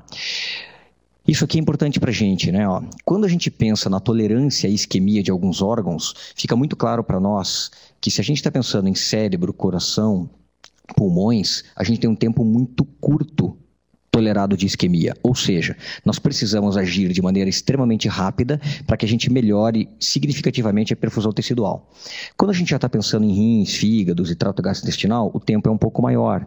E quando a gente está pensando principalmente em membros, né, músculos, ossos, pele, a gente já consegue ter um tempo de tolerância à isquemia um pouco maior é, para que haja uma recuperação celular, mesmo depois do tempo de isquemia é, uh, ocorrido, ok? Como que a gente reconhece e por que, que é importante o reconhecimento do choque? Por que, que nós devemos reconhecer o choque? Quem poderia dizer para a gente por que, que a gente deve reconhecer? Por que, que eu preciso reconhecer o choque inicialmente? Exatamente isso. Tá? É, como a resposta dele. Eu preciso reconhecer o choque para que eu saiba e institua inicialmente o tratamento que a gente precisa. É para isso que a gente faz? Claro que sim. Eu preciso instituir o choque, o tratamento para esse choque o mais rápido possível. Tá? Quando a gente está pensando em pré-hospitalar, que é o nosso objetivo aqui, a gente tem que pensar que o reconhecimento do choque nem sempre é uma coisa tão simples. A gente não tem tantos itens à disposição para que a gente consiga reconhecer. Existem alguns choques que têm um reconhecimento mais difícil, como é o caso do neurogênico, por exemplo, e existem situações onde a gente usa recursos específicos intra-hospitalares para definir o tipo de choque, por exemplo, tá? Como eventualmente se a gente for falar no catéter de Swan-Ganz, que a gente pode definir o tipo de choque. Isso é impossível da gente fazer é, num ambiente pré-hospitalar. Tá? É, os sinais de hipoperfusão que dizem para a gente que esse paciente pode estar em choque, eles se manifestam de várias maneiras. Mas inicialmente a gente pode ter somente manifestação do sistema nervoso central, ou seja, o paciente pode estar confuso e esse já é um sinal inicial de choque. O paciente pode ter um problema no sistema cardiovascular, sem dúvida nenhuma, no sistema respiratório, pele, rins e extremidades. Claro que, é, de acordo com esses órgãos, a gente vai ter a diferenciação entre a gravidade de cada um dos choques se manifestando. Tá? O rebaixamento de nível de consciência, então, pode ser um dos primeiros sinais de choque. Claro que isso não é uma fórmula matemática, mas pode ser um dos primeiros sinais de choque. Taquicardia, redução da pressão arterial e do pulso, isso também vai acontecer, principalmente da pressão de pulso. Né?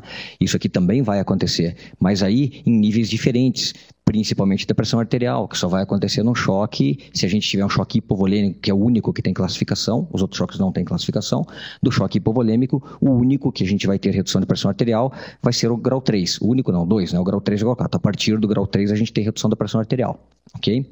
A gente pode ter um paciente com taquipneia, a gente pode ter as alterações de pele, principalmente uma pele, uma pele fria, pegajosa, com palidez, e o tempo de enchimento capilar periférico pode estar diminuído, ok? A redução do débito urinário, ele é extremamente importante para a gente como prognóstico do paciente, para a gente avaliar a recuperação do choque, porém, é, no ambiente pré-hospitalar isso é muito difícil. E por que, que é muito difícil? Porque quando a gente está falando em diurese, a gente está falando em meio ml quilo hora, 1 ml quilo hora, 2 ml quilo hora se for um recém-nascido, tá? É, é muito difícil que a gente consiga, no tempo de atendimento pré-hospitalar, fazer uma mensuração dessa quantidade de diurese que a gente vai ter. Tá? Então, claro que é importante sim a passagem da sonda, claro que sim, mas para a gente levar isso ao pé da letra, em 15 minutos num paciente de 100 quilos, a gente está esperando uma quantidade muito pequena de diurese a ponto da gente poder se basear nela para tomar condutas nesses pacientes. Tá? Então, é extremamente importante, mas no pré-hospitalar a gente tem que tomar um pouco de cuidado. Aqui eu mostro o diagrama de Viggers, né, que na realidade é, a gente não vai trabalhar exatamente o diagrama, né, porque isso daqui fala tudo sobre o que a gente precisa de fisiologia cardiovascular. Porém, o que é importante para nós é o que vem assinado ali na nossa setinha que é a questão do débito cardíaco. O que é o débito cardíaco? O débito cardíaco ele é um produto que a gente tem entre a frequência cardíaca e o volume sistólico. O volume sistólico é aquilo, é aquilo, é, é o volume que é ejetado do nosso coração tá? por unidade de tempo, então, é, por, por batimento cardíaco. Então, a gente faz uma multiplicação e a gente vai ter aí o nosso débito cardíaco, que vai variar de acordo com o tamanho, enfim, por diversas maneiras, diversas coisas podem acontecer para que isso varie. Mas, geralmente, esse débito cardíaco vai ser em torno de 4, 4,5, às vezes 5 litros por minuto, tá? Depende muito de cada pessoa, ok? Do que, que depende o volume sistólico? Depende da pré-carga. O que, que é a pré-carga? É o volume que chega no nosso coração. Tá? Ele depende também da contratilidade miocárdica e depende da pós-carga. Então, atrás, né, quando sai do coração, vamos pensar só do lado esquerdo do coração. Quando está saindo do coração, é, a gente tem a aorta, né, que é o principal vaso que a gente tem, o principal vaso arterial que nós temos. Né? A aorta, se ela oferecer uma resistência muito grande se ela tiver muito cheia, com uma resistência muito grande, a nossa contratilidade miocárdica pode estar prejudicada. E vai estar prejudicada por quê? Porque ela não consegue resistir, eh, não, não consegue é, vencer a resistência que a gente tem. E essa resistência chama-se pós-carga. Então a gente tem que tomar um pouco de cuidado aqui com esses, com esses índices né, que mostram para a gente ah, características importantes aí do choque. Tá? E uma coisa que a gente tem um pouco de trabalho, às vezes, para lidar, é que a gente tem que considerar que a pressão, a pressão arterial ela não é igual ao débito cardíaco. Porque a pressão arterial, ela depende sim, opa, ela depende sim do débito cardíaco, porém, ela depende de mais um item significativo para a gente, que é a resistência vascular periférica. Então, existem alguns tipos de choque, como no choque neurogênico, por exemplo, onde a gente faz vasoplegia, onde os vasos, eles se dilatam. Então, a gente perde a quantidade significativa, uma quantidade significativa de sangue para os órgãos esplâncnicos e, essas, e, essa, e essa quantidade de sangue que vai ficar nos membros vai fazer com que a gente tenha uma hipoperfusão bastante significativa nos órgãos fundamentais, nos órgãos principais, mas que pode ser muito difícil da gente reconhecer um choque como esse, porque o paciente ele pode ter um pulso normal, ele não vai ter diminuição da perfusão capilar periférica, o pulso periférico pode estar normal. Tá? Então é muito difícil de reconhecer. A gente tem que se basear em outros, em outros elementos, como por exemplo o rebaixamento de nível de consciência. Ok? E claro que, se eu estou pensando num, num, choque neurogênico, é extremamente importante que a gente se preocupe com uma coisa que muitos locais não se preocupam muito, que é com o mecanismo de trauma, é cinemática do trauma. Isso é extremamente importante. Se eu não associar isso com a cinemática, a gente vai ter muita dificuldade para chegar naquilo que a gente acha que é o correto. Tá? Então, é, no pré-hospitalar, isso aqui é importante para a gente, né? A gente não tem muitos exames. O que a gente vai ter, basicamente, é o bom senso, é a avaliação clínica, é a propedêutica, é a semiologia. É isso que vai fazer com que a gente reconheça os tipos de choque e, eventualmente, já inicie o tratamento para cada um desses tipos, ok? Então, isso aqui a gente já falou, né? o rebaixamento de nível de consciência, comportamentos anormais, taquicardia, redução da pressão, a, a pele fria e pegajosa, tá? redução do débito urinário. Isso aqui é tudo importante para a gente na nossa avaliação, que é a avaliação primária, que é o mais importante que nós vamos fazer no, no pré-hospitalar. Isso não quer dizer que a gente não vá fazer avaliação secundária do paciente no pré-hospitalar, mas a avaliação primária, ela é fundamental e ela pode ser significativa na diferença que a gente vai ter entre prognóstico é, adequado ou inadequado desses nossos pacientes, tá? Como que a gente faz essa avaliação primária? O nosso ABCDE. Claro que a gente não precisa perder muito tempo aqui, tá? Mas a gente tem que entender que o ABCDE, ele é fundamental para a gente. O que, que eu gostaria só de colocar em relação a isso?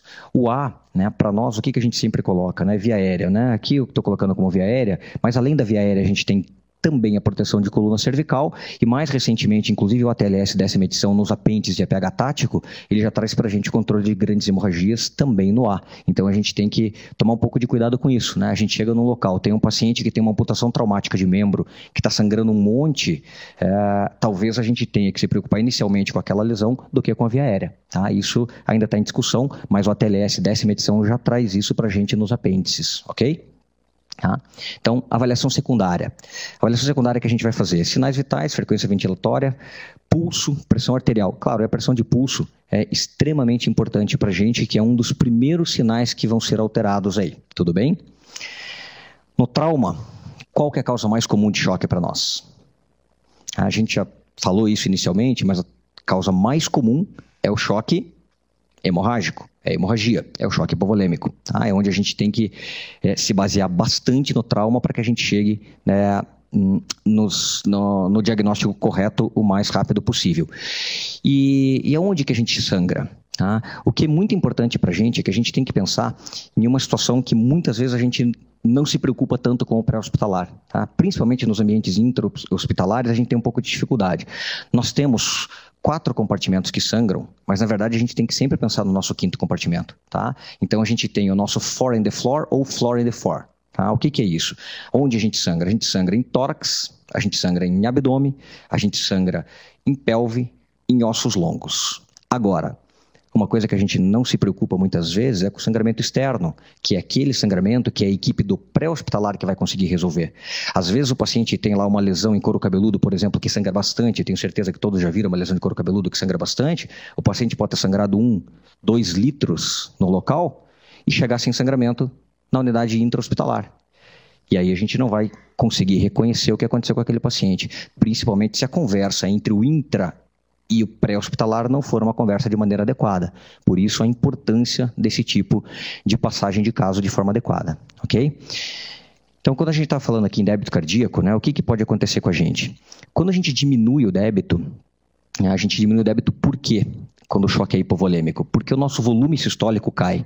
Como a quantidade de sangue que eu tenho no organismo caiu, o volume sistólico tende a cair. Por isso, o que, que acontece? Acontece que a gente sobe a frequência cardíaca. Tá? É uma maneira de compensação. Diminui o volume sistólico, sobe a frequência cardíaca. Tá? Então, é, essa, esse mecanismo de compensação ele existe para que a gente consiga manter um débito cardíaco adequado e que a gente consiga manter as funções de maneira adequada. Vai chegar um momento onde isso não vai mais ser possível. O choque ele vai evoluindo e se a gente não tratar, se a gente não contiver o choque, as coisas vão se complicar. Ok? Tudo bem? Tá? Então vamos dar sequência aí. Em relação ao volume que a gente pode perder, tá? a gente já falou dos compartimentos, mas qual o volume que a gente pode perder? E é, tíbia, úmero, aproximadamente 750 ml. Claro que esse valor não é um valor fixo, né? depende do tamanho, peso de cada pessoa. Fêmur, até 1.500 ml numa fratura de fêmur fechada unilateral. Ou seja, eu posso perder uma boa parte da volemia se eu tiver uma fratura bilateral de fêmur, mesmo que essa fratura seja fechada. Pelve, 2.000 ml. Abdômen tórax, praticamente toda a nossa volemia. O que, que isso diz para gente? É, eu tenho que tomar muito cuidado com esse tipo de, com esse tipo de situação, o que é bem comum no atendimento pré-hospitalar. Tá? Fratura, principalmente de fêmur e de pelve, são muito complicadas para gente. E a fratura de pelve, em algumas situações, a gente não consegue perceber de maneira é, muito fácil. Tá? Não é só palpando a pelve, em alguns casos a gente não consegue perceber que realmente tem fratura com crepitações. Mas os, o, o, novamente, é, a gente tem que lembrar da cinemática do trauma. Tá? Se a cinemática for significativa para que a gente pense numa fratura de pelve, a gente pode sim instituir o tratamento baseado nisso.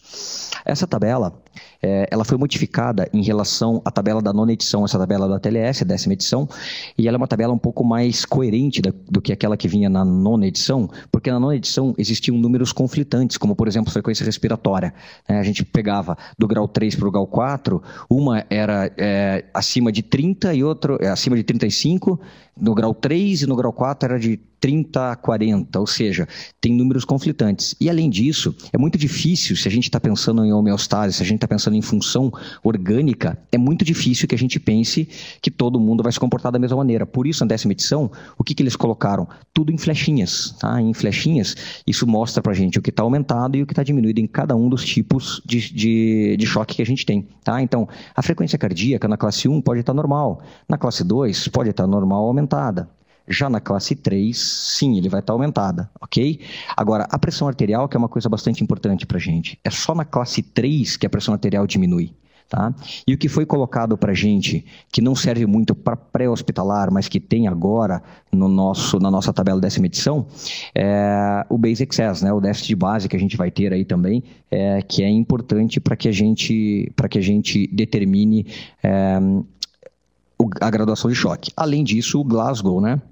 O Glasgow a gente não vai trabalhar, mas o Glasgow também foi inserido para a gente aqui, tá? Uma regrinha que eu acho bem interessante para a gente é, guardar isso é essa regrinha aqui, ó, tá? Essa regrinha ela fala para a gente o seguinte, ó, a gente usa a pontuação que a gente tem no tênis, tá? Então, num choque grau 1, o volume que a gente perdeu, tá? A perda foi de aproximadamente 15%. Então, por que, que a pontuação do, do, do, tênis é 15, 30, 40, 60? Não sei. Nunca ninguém me disse isso e eu já procurei na internet e nunca soube o porquê. Mas a gente sabe que é 15, 30, 40, 60. Isso aqui é importante pra gente, ó, porque o 15 ele é pra gente um choque grau 1. Até aproximadamente 30% um choque grau 2 de 30% a 40% um choque grau 3 e acima de 40% um choque grau 4, para a gente é o nosso game over, ok? Vamos lá. Frequência cardíaca em lactente normal aí pode ser até 160, tá? No adulto até 100, ok? No adulto isso, de acordo com o que a gente tem visto na American Heart Association, vai mudar é, a normalidade da frequência cardíaca que hoje é de 60 a 100 e ela deve passar para 50 a 100, mas isso ainda não está estabelecido, ok? Que, que a gente tem que tomar cuidado com essas pessoas, né? Idoso, criança, atleta, gestante e com uso de medicamentos? Porque a resposta que a gente vai ter de cada paciente vai ser diferente. O uso de medicamentos, por exemplo, o paciente pode estar usando um medicamento beta-bloqueador que vai fazer com que a frequência cardíaca não consiga aumentar. Com isso, o paciente pode chocar, inclusive, mais rápido, porque a frequência cardíaca compensatória para melhorar o débito cardíaco não vai existir, tá? Idoso, é, a mesma, o que acontece com o idoso é que ele descompensa extremamente rápido. Tá? Criança demora mais tempo para descompensar, mas quando a criança descompensa do choque, é muito difícil que a gente consiga melhorar. Tá? Por isso, o Paus traz para a gente né, aquela bradicardia na criança, já pode ser é, necessário a gente iniciar o processo de RCP, mesmo antes da PCR. Gestantes, as gestantes, elas já têm uma hipervolemia fisiológica tá? que é da gestação, traz para a gente dificuldade do reconhecimento do choque. E atletas, a mesma situação, eles demoram muito tempo para descompensar. E outra situação que acontece com o atleta é que ele já tem uma frequência cardíaca geralmente mais baixa. Tá? Então, pode ser que um atleta de ponta tenha uma frequência cardíaca basal de 40, às vezes até menos do que isso. E se esse paciente tiver com uma frequência de 80, ele já pode ser um paciente taquicárdico. E isso traz para a gente dificuldade de reconhecimento. E não está escrito na testa da pessoa que ele é um atleta. Quando você pega um paciente desse inconsciente na rua, você não sabe que ele é um atleta ou não, se ele é ou não, tá? Então a gente vai só falar um pouquinho aqui sobre os tipos de choque, né? Os choques aqui não hemorrágicos. É, o, que, o, que, eu acho importante a gente colocar aqui do choque não hemorrágico, a gente vai falar sobre o cardiogênico extrínseco ou obstrutivo. Por que cardiogênico extrínseco? É, o choque que a gente considerava sempre como obstrutivo, agora a gente pode o chamar também de cardiogênico extrínseco. Por quê? O tamponamento cardíaco, né, o tamponamento cardíaco, ele não é um choque cardiogênico propriamente dito, não é um choque causado pelo próprio coração. Mas se eventualmente o coração não consegue fazer a diástole de forma adequada, a gente tem líquido no saco pericárdico, o coração não vai funcionar adequadamente. Não é por um problema cardíaco da musculatura, mas ele não vai funcionar adequadamente. Então, o PHTLS traz para a gente na nossa última edição essa nomenclatura de cardiogênico extrínseco ao invés de obstrutivo. Então eu coloco isso só para que a gente lembre que essas duas nomenclaturas hoje podem ser utilizadas, ok? O cardiogênico intrínseco é aquele que a gente tem do coração propriamente dito. Isso pode ser por um infarto, uma ruptura valvar, enfim, por diversas outras situações. Choque neurogênico e séptico, a gente vai comentar um pouquinho aí depois, mas o choque séptico, para a gente aí no pré-hospitalar, é um choque é, muito mais raro de acontecer. Tá? Muito mais difícil de ter. E o choque neurogênico, ainda bem que é um choque também um pouco mais raro do que o choque, do que o choque hemorrágico, porque pela dificuldade de reconhecimento que a gente tem, sem dúvida nenhuma, esses pacientes teriam um prognóstico muito pior se a quantidade de, de, de pacientes é, acometidos desse tipo de choque fosse maior. Ok?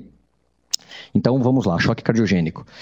A gente já falou sobre isso, então ele não é muito frequente nos pacientes de trauma, Tá? Mas ele é muito prevalente nos pacientes clínicos, insuficiência cardíaca congestiva, infarto agudo do miocárdio, bloqueio de ramo esquerdo, é, um paciente com uma fração de ejeção do ventrículo esquerdo baixa, doenças valvulares, cardiopatias congênitas, enfim. Existem diversas situações que podem fazer com que haja alteração significativa do miocárdio, ou não do miocárdio, mas das estruturas valvulares. Tá? E isso pode fazer com que o nosso débito cardíaco também caia. Tá? Ok? Vamos lá, tamponamento cardíaco.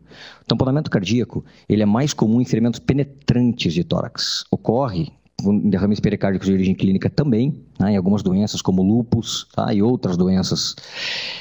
E classicamente ele se comporta para a gente como a tríade de Beck, tá? Hipofonese de bulhas, hipotensão e engurgitamento jugular. Qual que é o grande detalhe que a gente tem que comentar aqui?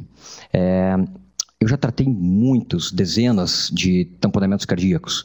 E o tamponamento cardíaco com a tríade de Beck geralmente vai acontecer no paciente do trauma, porque é um tamponamento cardíaco que aconteceu sem compensação. Agora, no paciente clínico, dificilmente a gente vai ver uma tríade de Beck, uma tríade de Beck clássica como as descritas em livro. É muito difícil, tá? Então a gente tem que tomar um pouco de cuidado com isso. Mas no trauma é bem clássica, tá? Ok? Então aqui o tamponamento cardíaco, ó, mostrando um procedimento, né? O que, que é esse procedimento?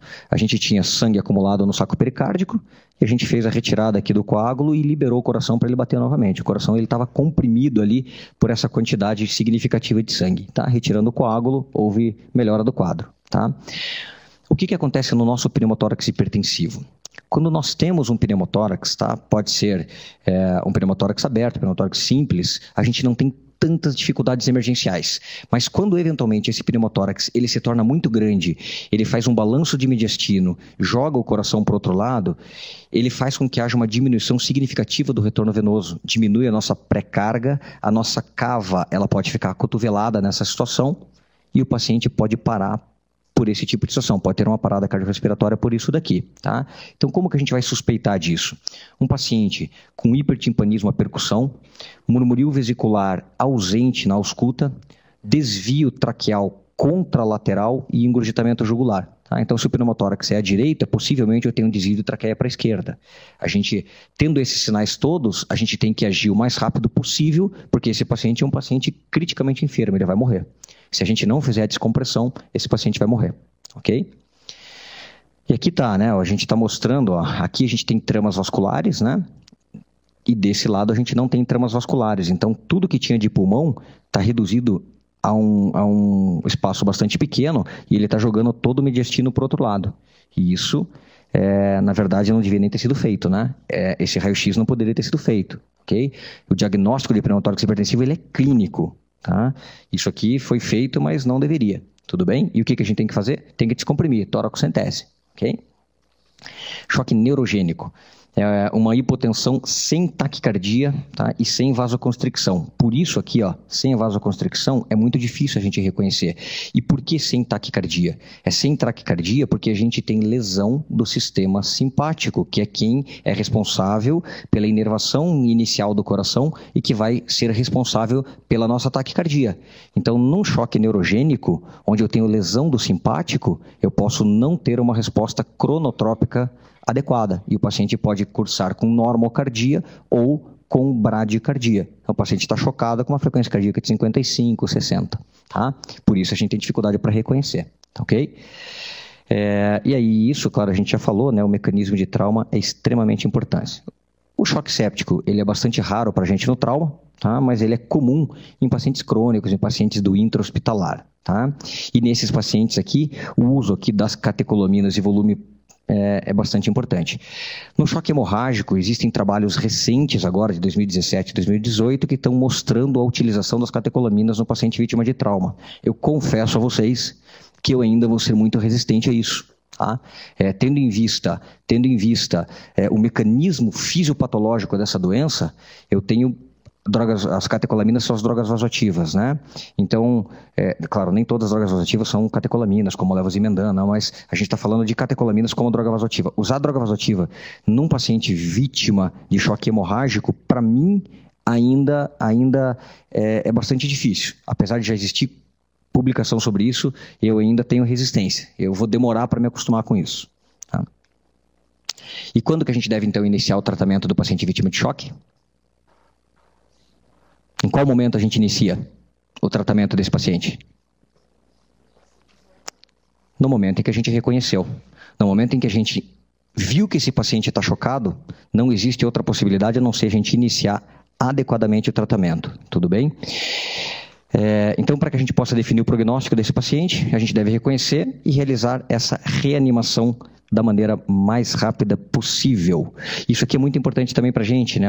Para que a gente realize o tratamento, eu tenho que reconhecer. Se eu não sei que o paciente está chocado, como é que eu estou procurando alguma coisa que eu não sei o que é? Tá? E reconhecer o tipo de choque também é fundamental. Não adianta eu querer tratar um paciente com choque cardiogênico, dando volume para ele como a gente faz no choque, como a gente faz no choque neurogênico, por exemplo, ou mais de forma limitada no nosso choque hemorrágico. Tá? Passando um pouquinho para frente só em relação a isso, a gente só tem que lembrar que hoje, aquele conceito que a gente tinha até 2017 de fazer 2 mil ml de volume para todos os pacientes, isso não existe mais. Tá? Hoje, a menor quantidade de volume que a gente vai fazer vai ser aquela que a gente vai conseguir produzir um pouco de estabilidade para o paciente. Tá? E o que, que a gente quer no paciente vítima de choque hemorrágico? Eu não quero que o paciente tenha uma pressão normal de 120 por 80, de 130 por 80. Eu não quero isso. Eu quero que o paciente tenha um conceito hoje que a gente usa, o paciente, a gente tem que ter esse conceito da hipotensão permissiva. Tá? Por que isso?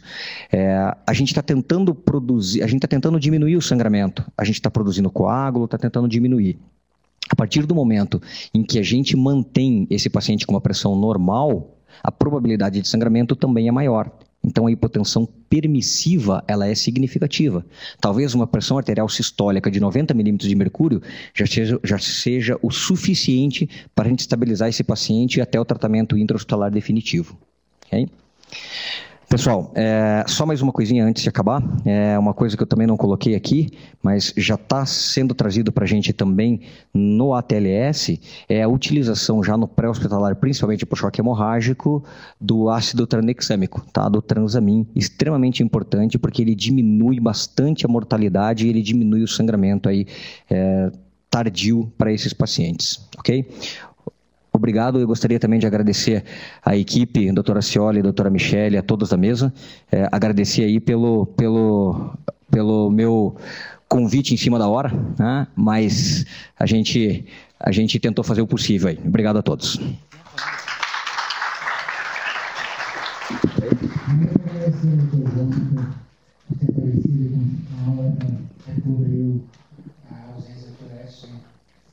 É, eu vou, colocar agora a palavra com os debatedores para fazer as considerações que quiserem fazer. Em seguida, a gente abre a perguntas para o público.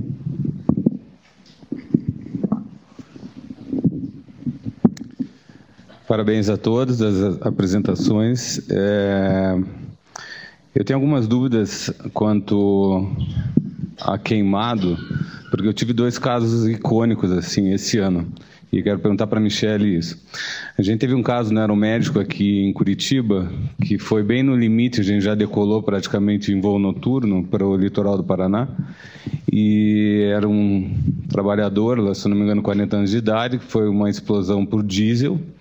Ele já tinha sido entubado pelo colega do posto de saúde lá em Guaratuba, com tubo 7 e quando eu cheguei, ele tinha restrição ventilatória, estava chocado, tinha mais de 80% de área queimada, estava um caos. É, e eu pensei nesse caso sobre fazer escarotomia.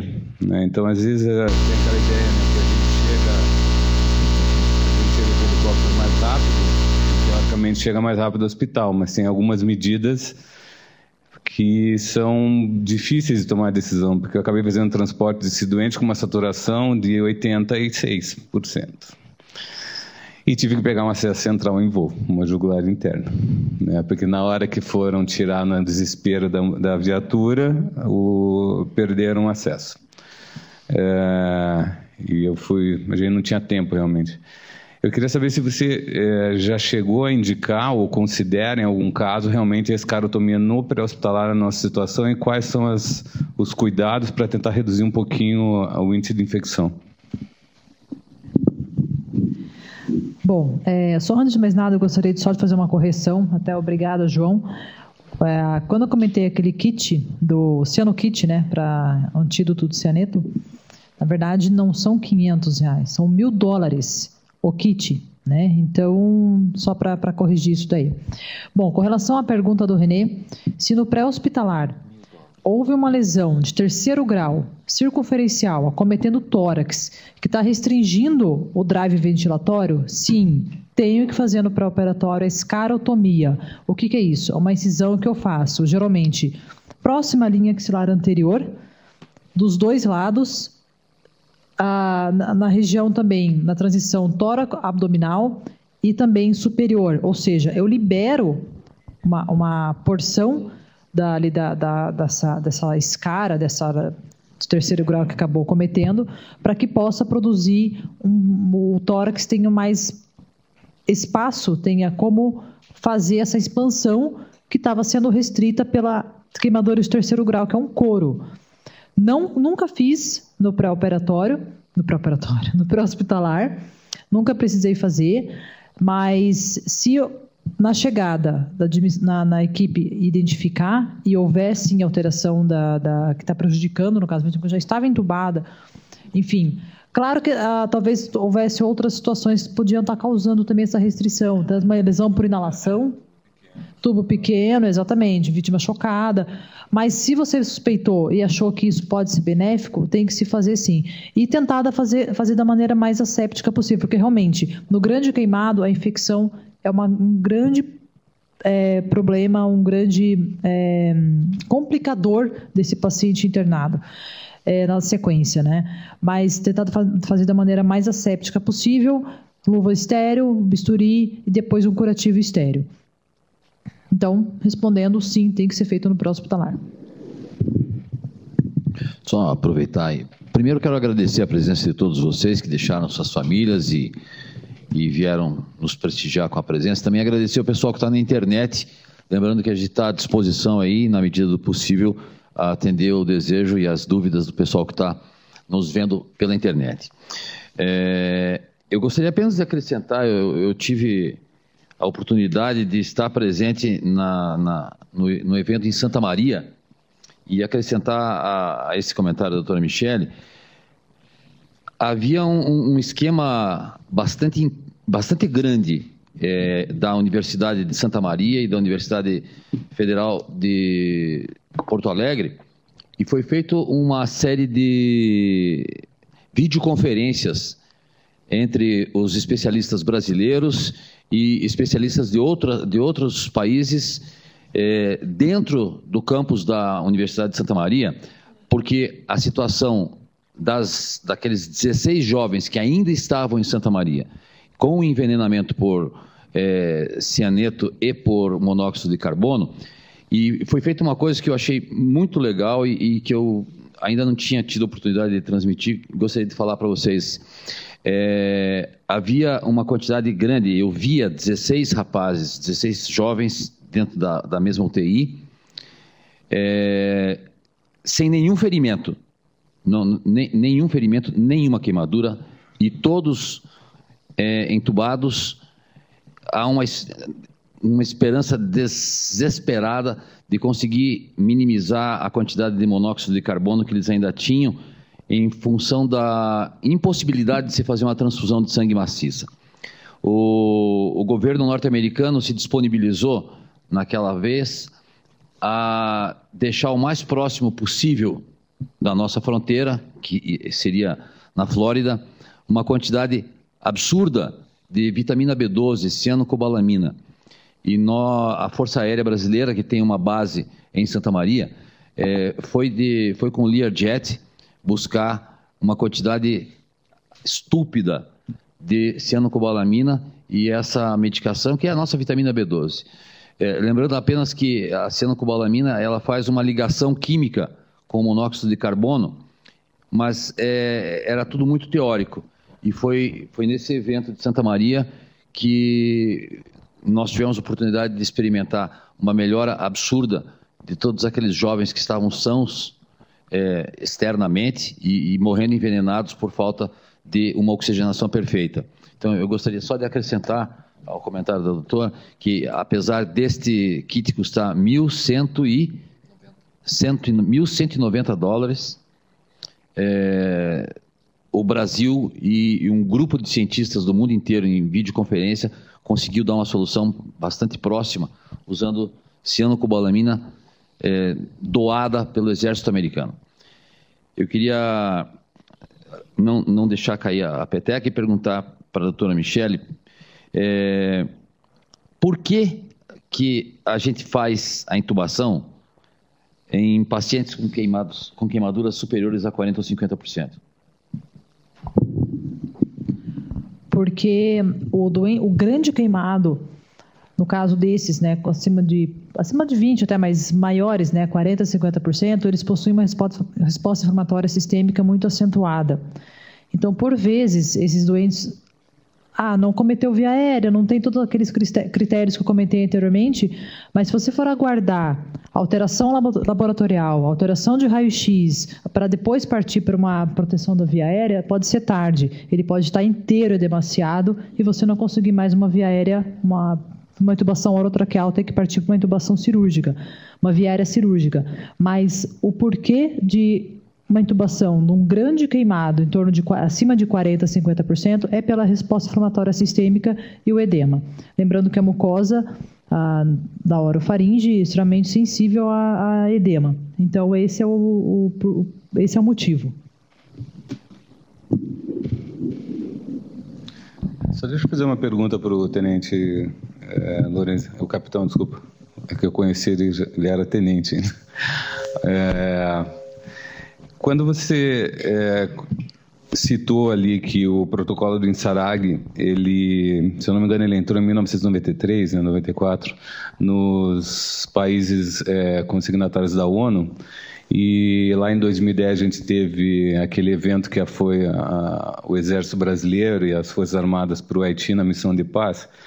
Eu queria te perguntar é, se existe algum sistema nosso nacional, depois da criação da Força Nacional, para é, atender por exemplo, os bombeiros saírem daqui do estado do Paraná para atender uma situação de um colapso, um busca e resgate de estrutura colapsada, um ataque terrorista, alguma coisa assim de, em outros estados e como que é feita essa mobilização. E outra coisa que eu quero te perguntar é se para a gente aqui na América do Sul a gente também apoia outros países como Argentina, Equador, porque eu vi algumas vezes esse último terremoto, acho que foi no Equador que teve, né? Veio é, gente de fora, até da Alemanha, né? Eu não vi nos noticiários realmente o Brasil participando desse evento. Talvez seja por desconhecimento, mas eu acabei não, não encontrando isso. Bom, então, é, então, primeira pergunta ali, né? Com relação a, ao envio, né, de, de, de equipes, né, nesse tipo de ocorrência em nível estadual. Então, hoje existe lá a Defesa Civil Nacional, né, existe através da Força Nacional também de Segurança Pública, é, dentro da Força Nacional tem lá o grupamento de busca e salvamento, que pode atuar nessas missões. E existe também a Liga Nacional de Bombeiros, que é a Liga Bom. Né? É, em ocorrendo uma situação, né, é possível o envio de, de, de efetivo. Então, por exemplo, em 2009, 2010, 2009 a gente deslocou uma equipe do Paraná, até eu fui, para o estado do Piauí, quando ocorreu aquele rompimento da barragem de algodões, onde teve uma série de mortes. Então, a gente foi com os cães para lá nosso, uma equipe aqui para busca e localização de pessoas. É, mas foi um acordo entre lá o estado do Piauí e o estado do Paraná, que ofereceu ajuda e aceitou.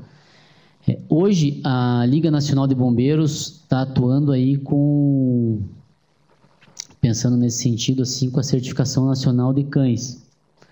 Então, vários estados aí participam da certificação nacional e em ocorrendo eventos podem ser acionados aí para apoio nesse sentido. Então, assim, é, hoje está bem, bem estruturado nesse sentido, né? não, é, não é muito protocolar assim, mas existe essa, essas, essas, esses intercâmbios, né? então é, é possível sim, o envio de, de efetivo. E com relação à ajuda internacional, como foi falado ali com nos terremotos aqui, é, apesar da gente seguir a, a, a doutrina em Sarag, para que a gente consiga cadastrar uma equipe nos padrões, é, é muito burocrático no sentido assim de, de seguir vários protocolos ali que eles, que eles estabelecem, né? Então, um, um, um protocolo, por exemplo, é no sentido de que a gente faz um esforço para ter uma equipe dentro dos padrões e é exigido, por exemplo, que a gente tenha uma outra equipe aqui. Então, no mínimo duas equipes, por exemplo. Então, eu teria que ter uma equipe cadastrada para fazer ajuda e também não desguarnecer o, o, a minha, minha localização. Existem estados aí que já estão, é, salvo engano, São Paulo, Santa Catarina aí que já estão é, conseguindo o cadastramento e uma vez cadastradas essas equipes dentro dos padrões, aí sim elas podem ser, ser acionadas e atender ocorrências dentro dos países signatários da ONU. Então, hoje o Paraná não, né? Salvo engano, São Paulo já está nessa linha e Santa Catarina, mas é um processo muito burocrático e demanda um efetivo muito grande, assim. Mas é em nível estadual, assim, tem ocorrido, assim, é perfeitamente possível. Obrigado. Queria aproveitar, capitão Lorenzetti, perguntar curiosidade pessoal. Como que os senhores do Corpo de Bombeiros calculam, é, em situações reais, as condições de risco e em que, em que momento os senhores se sentem liberados para entrar na área quente, já que existe um, um ímpeto natural por parte do, do, do, bombeiro, né, de um modo geral de todos nós que estamos na área. Como que os senhores conseguem calcular o risco? É, nesse tipo de ocorrência? Sim. Então, essa, essa ocorrência, ela, como eu falei ali no, no, no, protocolo de operação. Então, inicialmente ali, é, vai ser feita a localização, a busca localização de vítimas superficiais. E a partir do momento, então, que, que se faz necessário adentrar as estruturas para fazer a, a, o acesso, a localização, é mediante somente o escoramento. Então, é, nesse tipo de ocorrência específica, são identificados todos os pontos de atenção, produtos perigosos, vazamento de gás, riscos. Aí as equipes especializadas eliminam esses riscos. A partir daí, é, se tiver o risco de colapso, a equipe fará todo o escoramento da estrutura, né, utilizando escoras é, hidráulicas, pneumáticas e até escoras de madeira construídas na hora, para deixar todo o ambiente estabilizado, com segurança, para daí sim as equipes adentrarem. Então, nesse sentido, assim, a gente, é, em sendo uma ocorrência totalmente isolada e conhecendo, a gente também não, não, não expõe nosso operador ao risco. Então, é tudo garantido, toda a segurança, para daí sim iniciar os trabalhos. Vamos abrir agora então as perguntas da plateia aí. Doutor Toso. Boa noite. Boa noite a todos. O Toso, médico do CIAT também. É, na verdade, comentário, dois comentários. É, o Paraná teve uma participação muito bonita na situação de, de Santa Maria. É, nós fomos o o primeiro estado a chegar lá para dar apoio, apoio externo ao Rio Grande. Nós saímos daqui já no domingo, saímos com uma equipe de sete pessoas, foram eu mais dois enfermeiros, é, tripulando um helicóptero da Polícia Rodoviária Federal, na época, com que nós tínhamos convênio, e um avião Grand Caravan né, do Estado, cedido, então um total de sete pessoas inicialmente, então foi assim o tempo de se conseguir né, viabilizar essa parte inicial da autorização, principalmente em relação à liberação do avião, é, da gente conseguir juntar né, uma quantidade mínima de, de materiais, medicamentos, né, para poder fazer frente às né, primeiras horas, primeiras 24, 48 horas né, de, de apoio. Ah, então nós fomos e no final da tarde de domingo, né, a situação foi na madrugada de sábado para domingo, no final da tarde de domingo é, nós já estávamos fazendo os dois primeiros transportes. Né, utilizamos um, é, o Caravan, uma vítima muito grave, é, aquilo que o, que o Nogaroli falou, é, as vítimas que eu transportei, que a nossa equipe transportou, né, e as que eu tive a possibilidade de, de, de testemunhar também, né, que são transportadas no avião da Força Aérea, é, nenhuma com queimaduras visíveis. Né? Era realmente a, né, a intoxicação né, pela, pelos cianetos, né, a, a, as queimaduras de via aérea por inalação de, de fumaça quente. Né? Essa primeira vítima grave, uma quantidade absurda né, de, esputo carbonáceo vindo pela câmara de, de intubação, intubando, é, é, entupindo o respirador, a gente tendo que passar né, para ventilação é, manual. É, e foi assim, foi, foi muito bacana essa é, essa participação. Foi o único estado que conseguiu chegar é, para apoio no domingo, ainda no domingo. É, Nogaroli chegou, acho que no dia seguinte, se não me engano, com o do SAMU, e mais estrutura, mais apoio. É, e foi tão assim reconhecido, né, que na, no final da tarde da segunda-feira, o governador do Rio Grande veio até nós agradecer né, a rapidez com que a gente deu essa resposta inicial. Né, nas primeiras, primeiras horas, né, até o final do, do, do primeiro dia, do domingo, né, é, o, o, Rio Grande na época não tinha, não contava com helicóptero nem com, com, com asa fixa para pré-hospitalar. É, eles puderam contar, então, naquele dia, com é, um helicóptero da, do próprio, é, da própria Força Aérea e com um avião né, que veio, não, não sei agora de, de que local né, do, do, do, país, que foi acionado também muito rapidamente. A equipe tinha capacidade de transportar, se não me engano, quatro ou seis pessoas simultaneamente. Né. Um outro comentário em relação né, à situação de, de se, se aproximar né, de, de, uma vítima queimada, né, ainda com o evento acontecendo, lembrando uma foto que a, que a Michelle mostrou no, no início do, do slide, é um carro pegando fogo. É, eu tive a oportunidade de, de, testemunhar, de ser o primeiro a chegar com, com a nossa viatura de intervenção rápida, uma situação, alguns anos atrás, de um, quatro jovens que estavam dentro de um, de um veículo, saíram de uma festa se espatifaram num poste na frente do colégio estadual. É, nós estávamos voltando de uma ocorrência, estávamos muito próximos quando escutamos né, a, o acionamento do caminhão e ambulância, e nós iríamos para lá também. Chegamos muito rápido, questão de um, dois minutos após o, o, o acidente, e a sensação de impotência é muito grande, né, porque nós chegamos, é, eu via dois jovens, pelo menos, né, se, se, movimentando lá dentro do carro, totalmente tomado em chamas, gritando né, desesperadamente, e a gente simplesmente não tinha o que fazer. E era inverno, eu tentei me aproximar com o extintor de incêndio da, da, da viatura, é, estava com a, com a, nossa jaqueta né, de, de inverno, ela, a três metros de distância, ela derreteu completamente em cima de mim.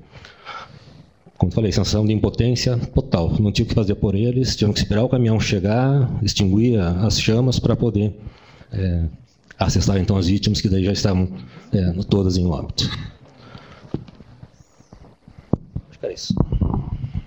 Obrigado Fazer uma, fazer uma pergunta da, é da, internet. Primeiro para o doutor João. É, todas as leituras, tanto do livro de trauma como também do PHTLS, falam que a TCE não causa choque hipovolêmico, mas em crianças uma laceração de scalp pode ocasionar. Por quê?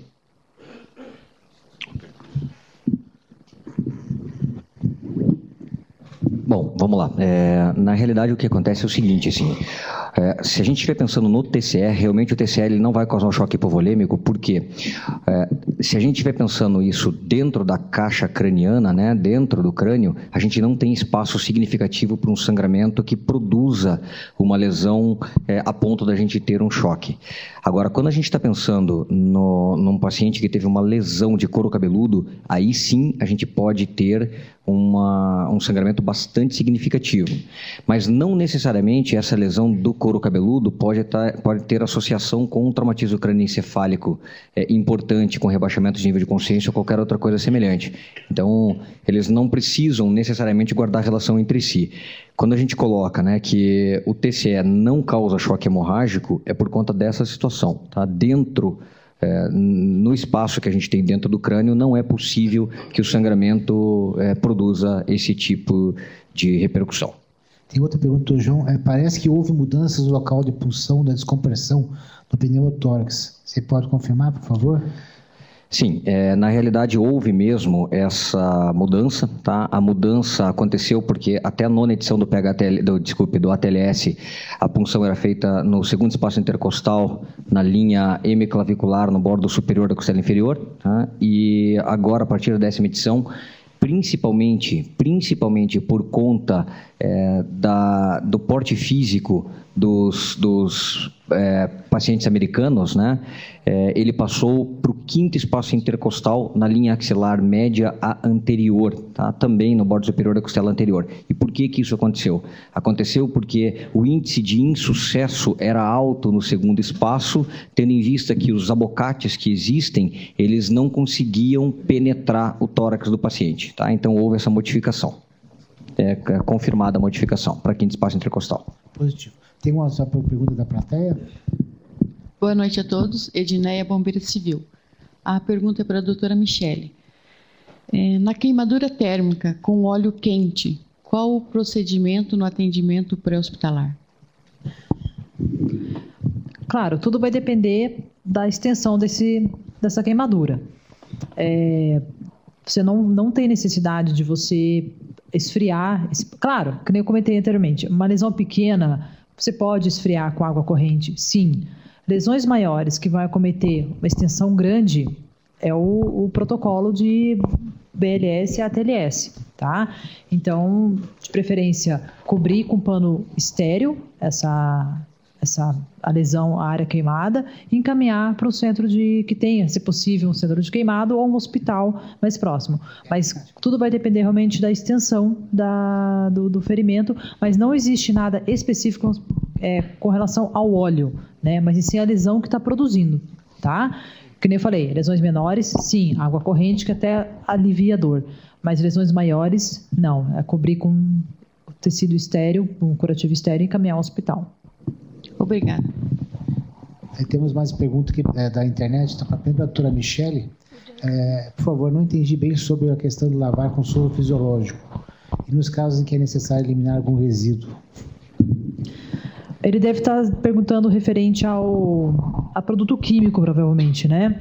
Então, é, se, se ainda o resíduo está presente, eu retiro o excesso de maneira seca e depois eu irrigo a área com, geralmente, água, que é água solvente universal, não é nem o soro fisiológico, né? Seria água mesmo.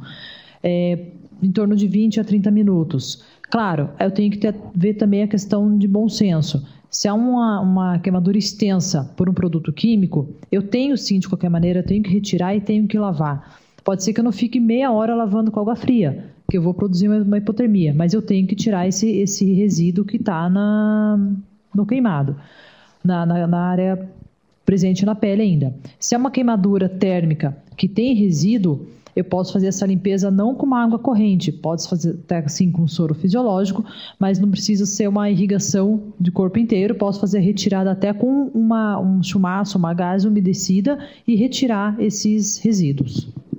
Tem mais uma pergunta para a doutora Michelle e também para todos os colegas da bancada, o doutor Guilherme Zamar, é, sobre a utilização do plástico filme como opção no cuidado inicial de feridas e grandes queimados no ambiente pré-hospitalar. Nosso meio não, não, não, está sendo utilizado apesar da literatura. É, realmente, eu não, também nunca vi a, isso como rotina, nunca vi ser utilizado, ah, mas o grande intuito dessa, dessa do, do, do do plástico, do filme que a gente fala, é isolar, até como uma prevenção da, da, da infecção e, e, principalmente a perda de calor. Alguém mais quer fazer algum comentário? João. Está aberto a todos aí na mesa. Opinião sobre o uso do plástico filme. Talvez seja só por questão da gente não ter disponível isso na viatura e não ter o hábito ainda de, de utilizar. Mas a princípio o que a gente faz mesmo é curativo estéreo e a fechar essa ferida o quanto antes. Já tentamos no CIAT, recebemos algumas amostras uma vez, a gente acabou usando alguns queimados, mas eram amostras doadas e não vieram mais, então foi possível dar seguimento e fazer nenhum trabalho a respeito. A gente sabe que fora uh, existe, existe disponível, né, Luiz Marcelo, uh, uns curativos especiais com, uma, com gases é, envolto com como se fosse uma gase não aderente com produto gelatinoso para que as áreas expostas, já que a derme não tá mais, a epiderme não está mais íntegra, não aderir, não grudar. É, mas aqui a gente não tem, não tem disponíveis, não tem disponível esses curativos. Eu não vou lembrar o nome agora. Você lembra, Luiz Marcelo? É, pode ser. É, então... é, nós, assim que foi inventado, nós recebemos amostras do evangélico. Nós chegamos a usar alguns pacientes, mas acabaram as amostras, acabou-se. Acabou a fonte. Tem mais uma pergunta da plateia?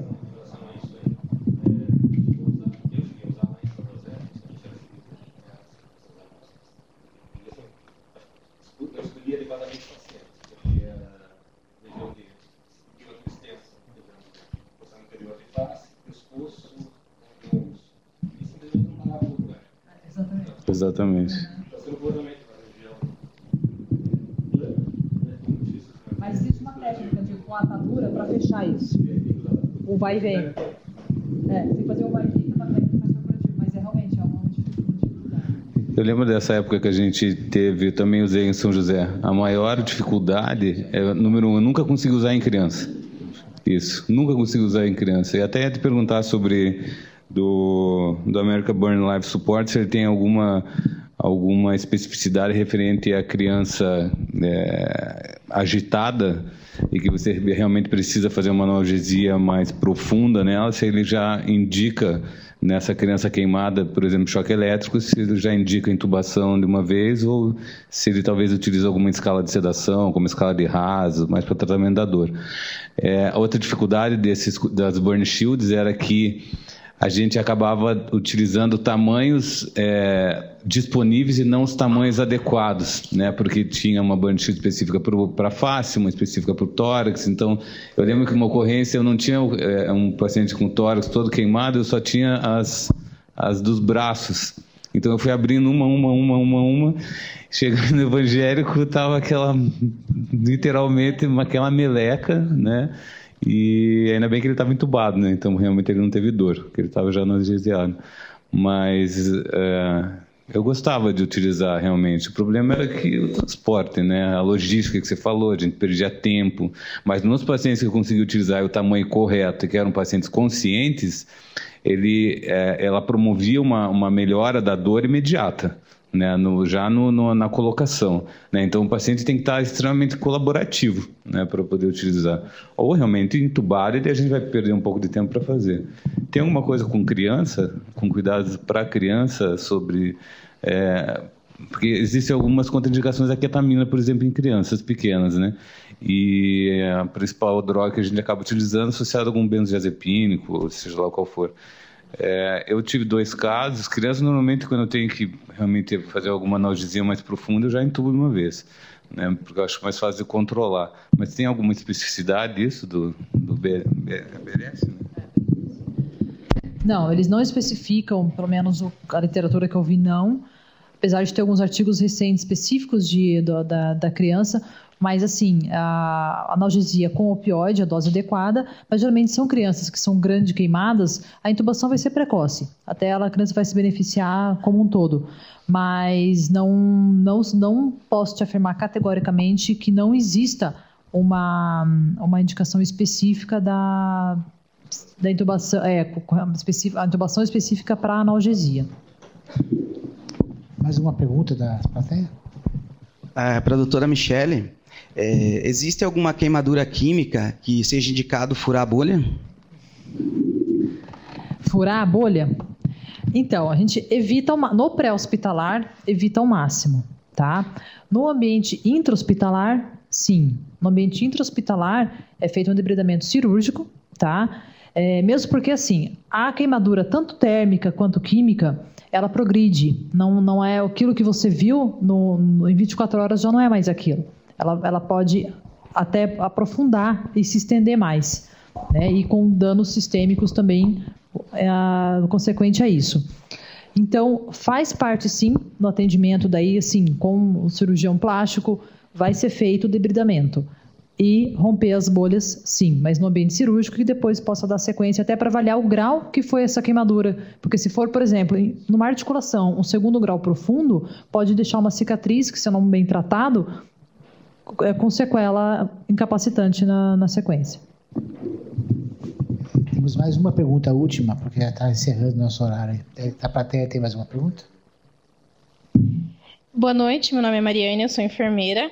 No caso, o paciente, né, queimado, ele no momento se apresenta muito agitado. Aí minha pergunta é se remédios sedativos podem ser feitos nesse paciente, o que fazer e se esse remédio pode ter uma reação adversa, no caso? Então, grandes queimados, geralmente queimadura de segundo grau, ela é extremamente dolorosa. Os pacientes realmente podem se agitar pela dor, né? O que é preconizado, que é até então a morfina, tá?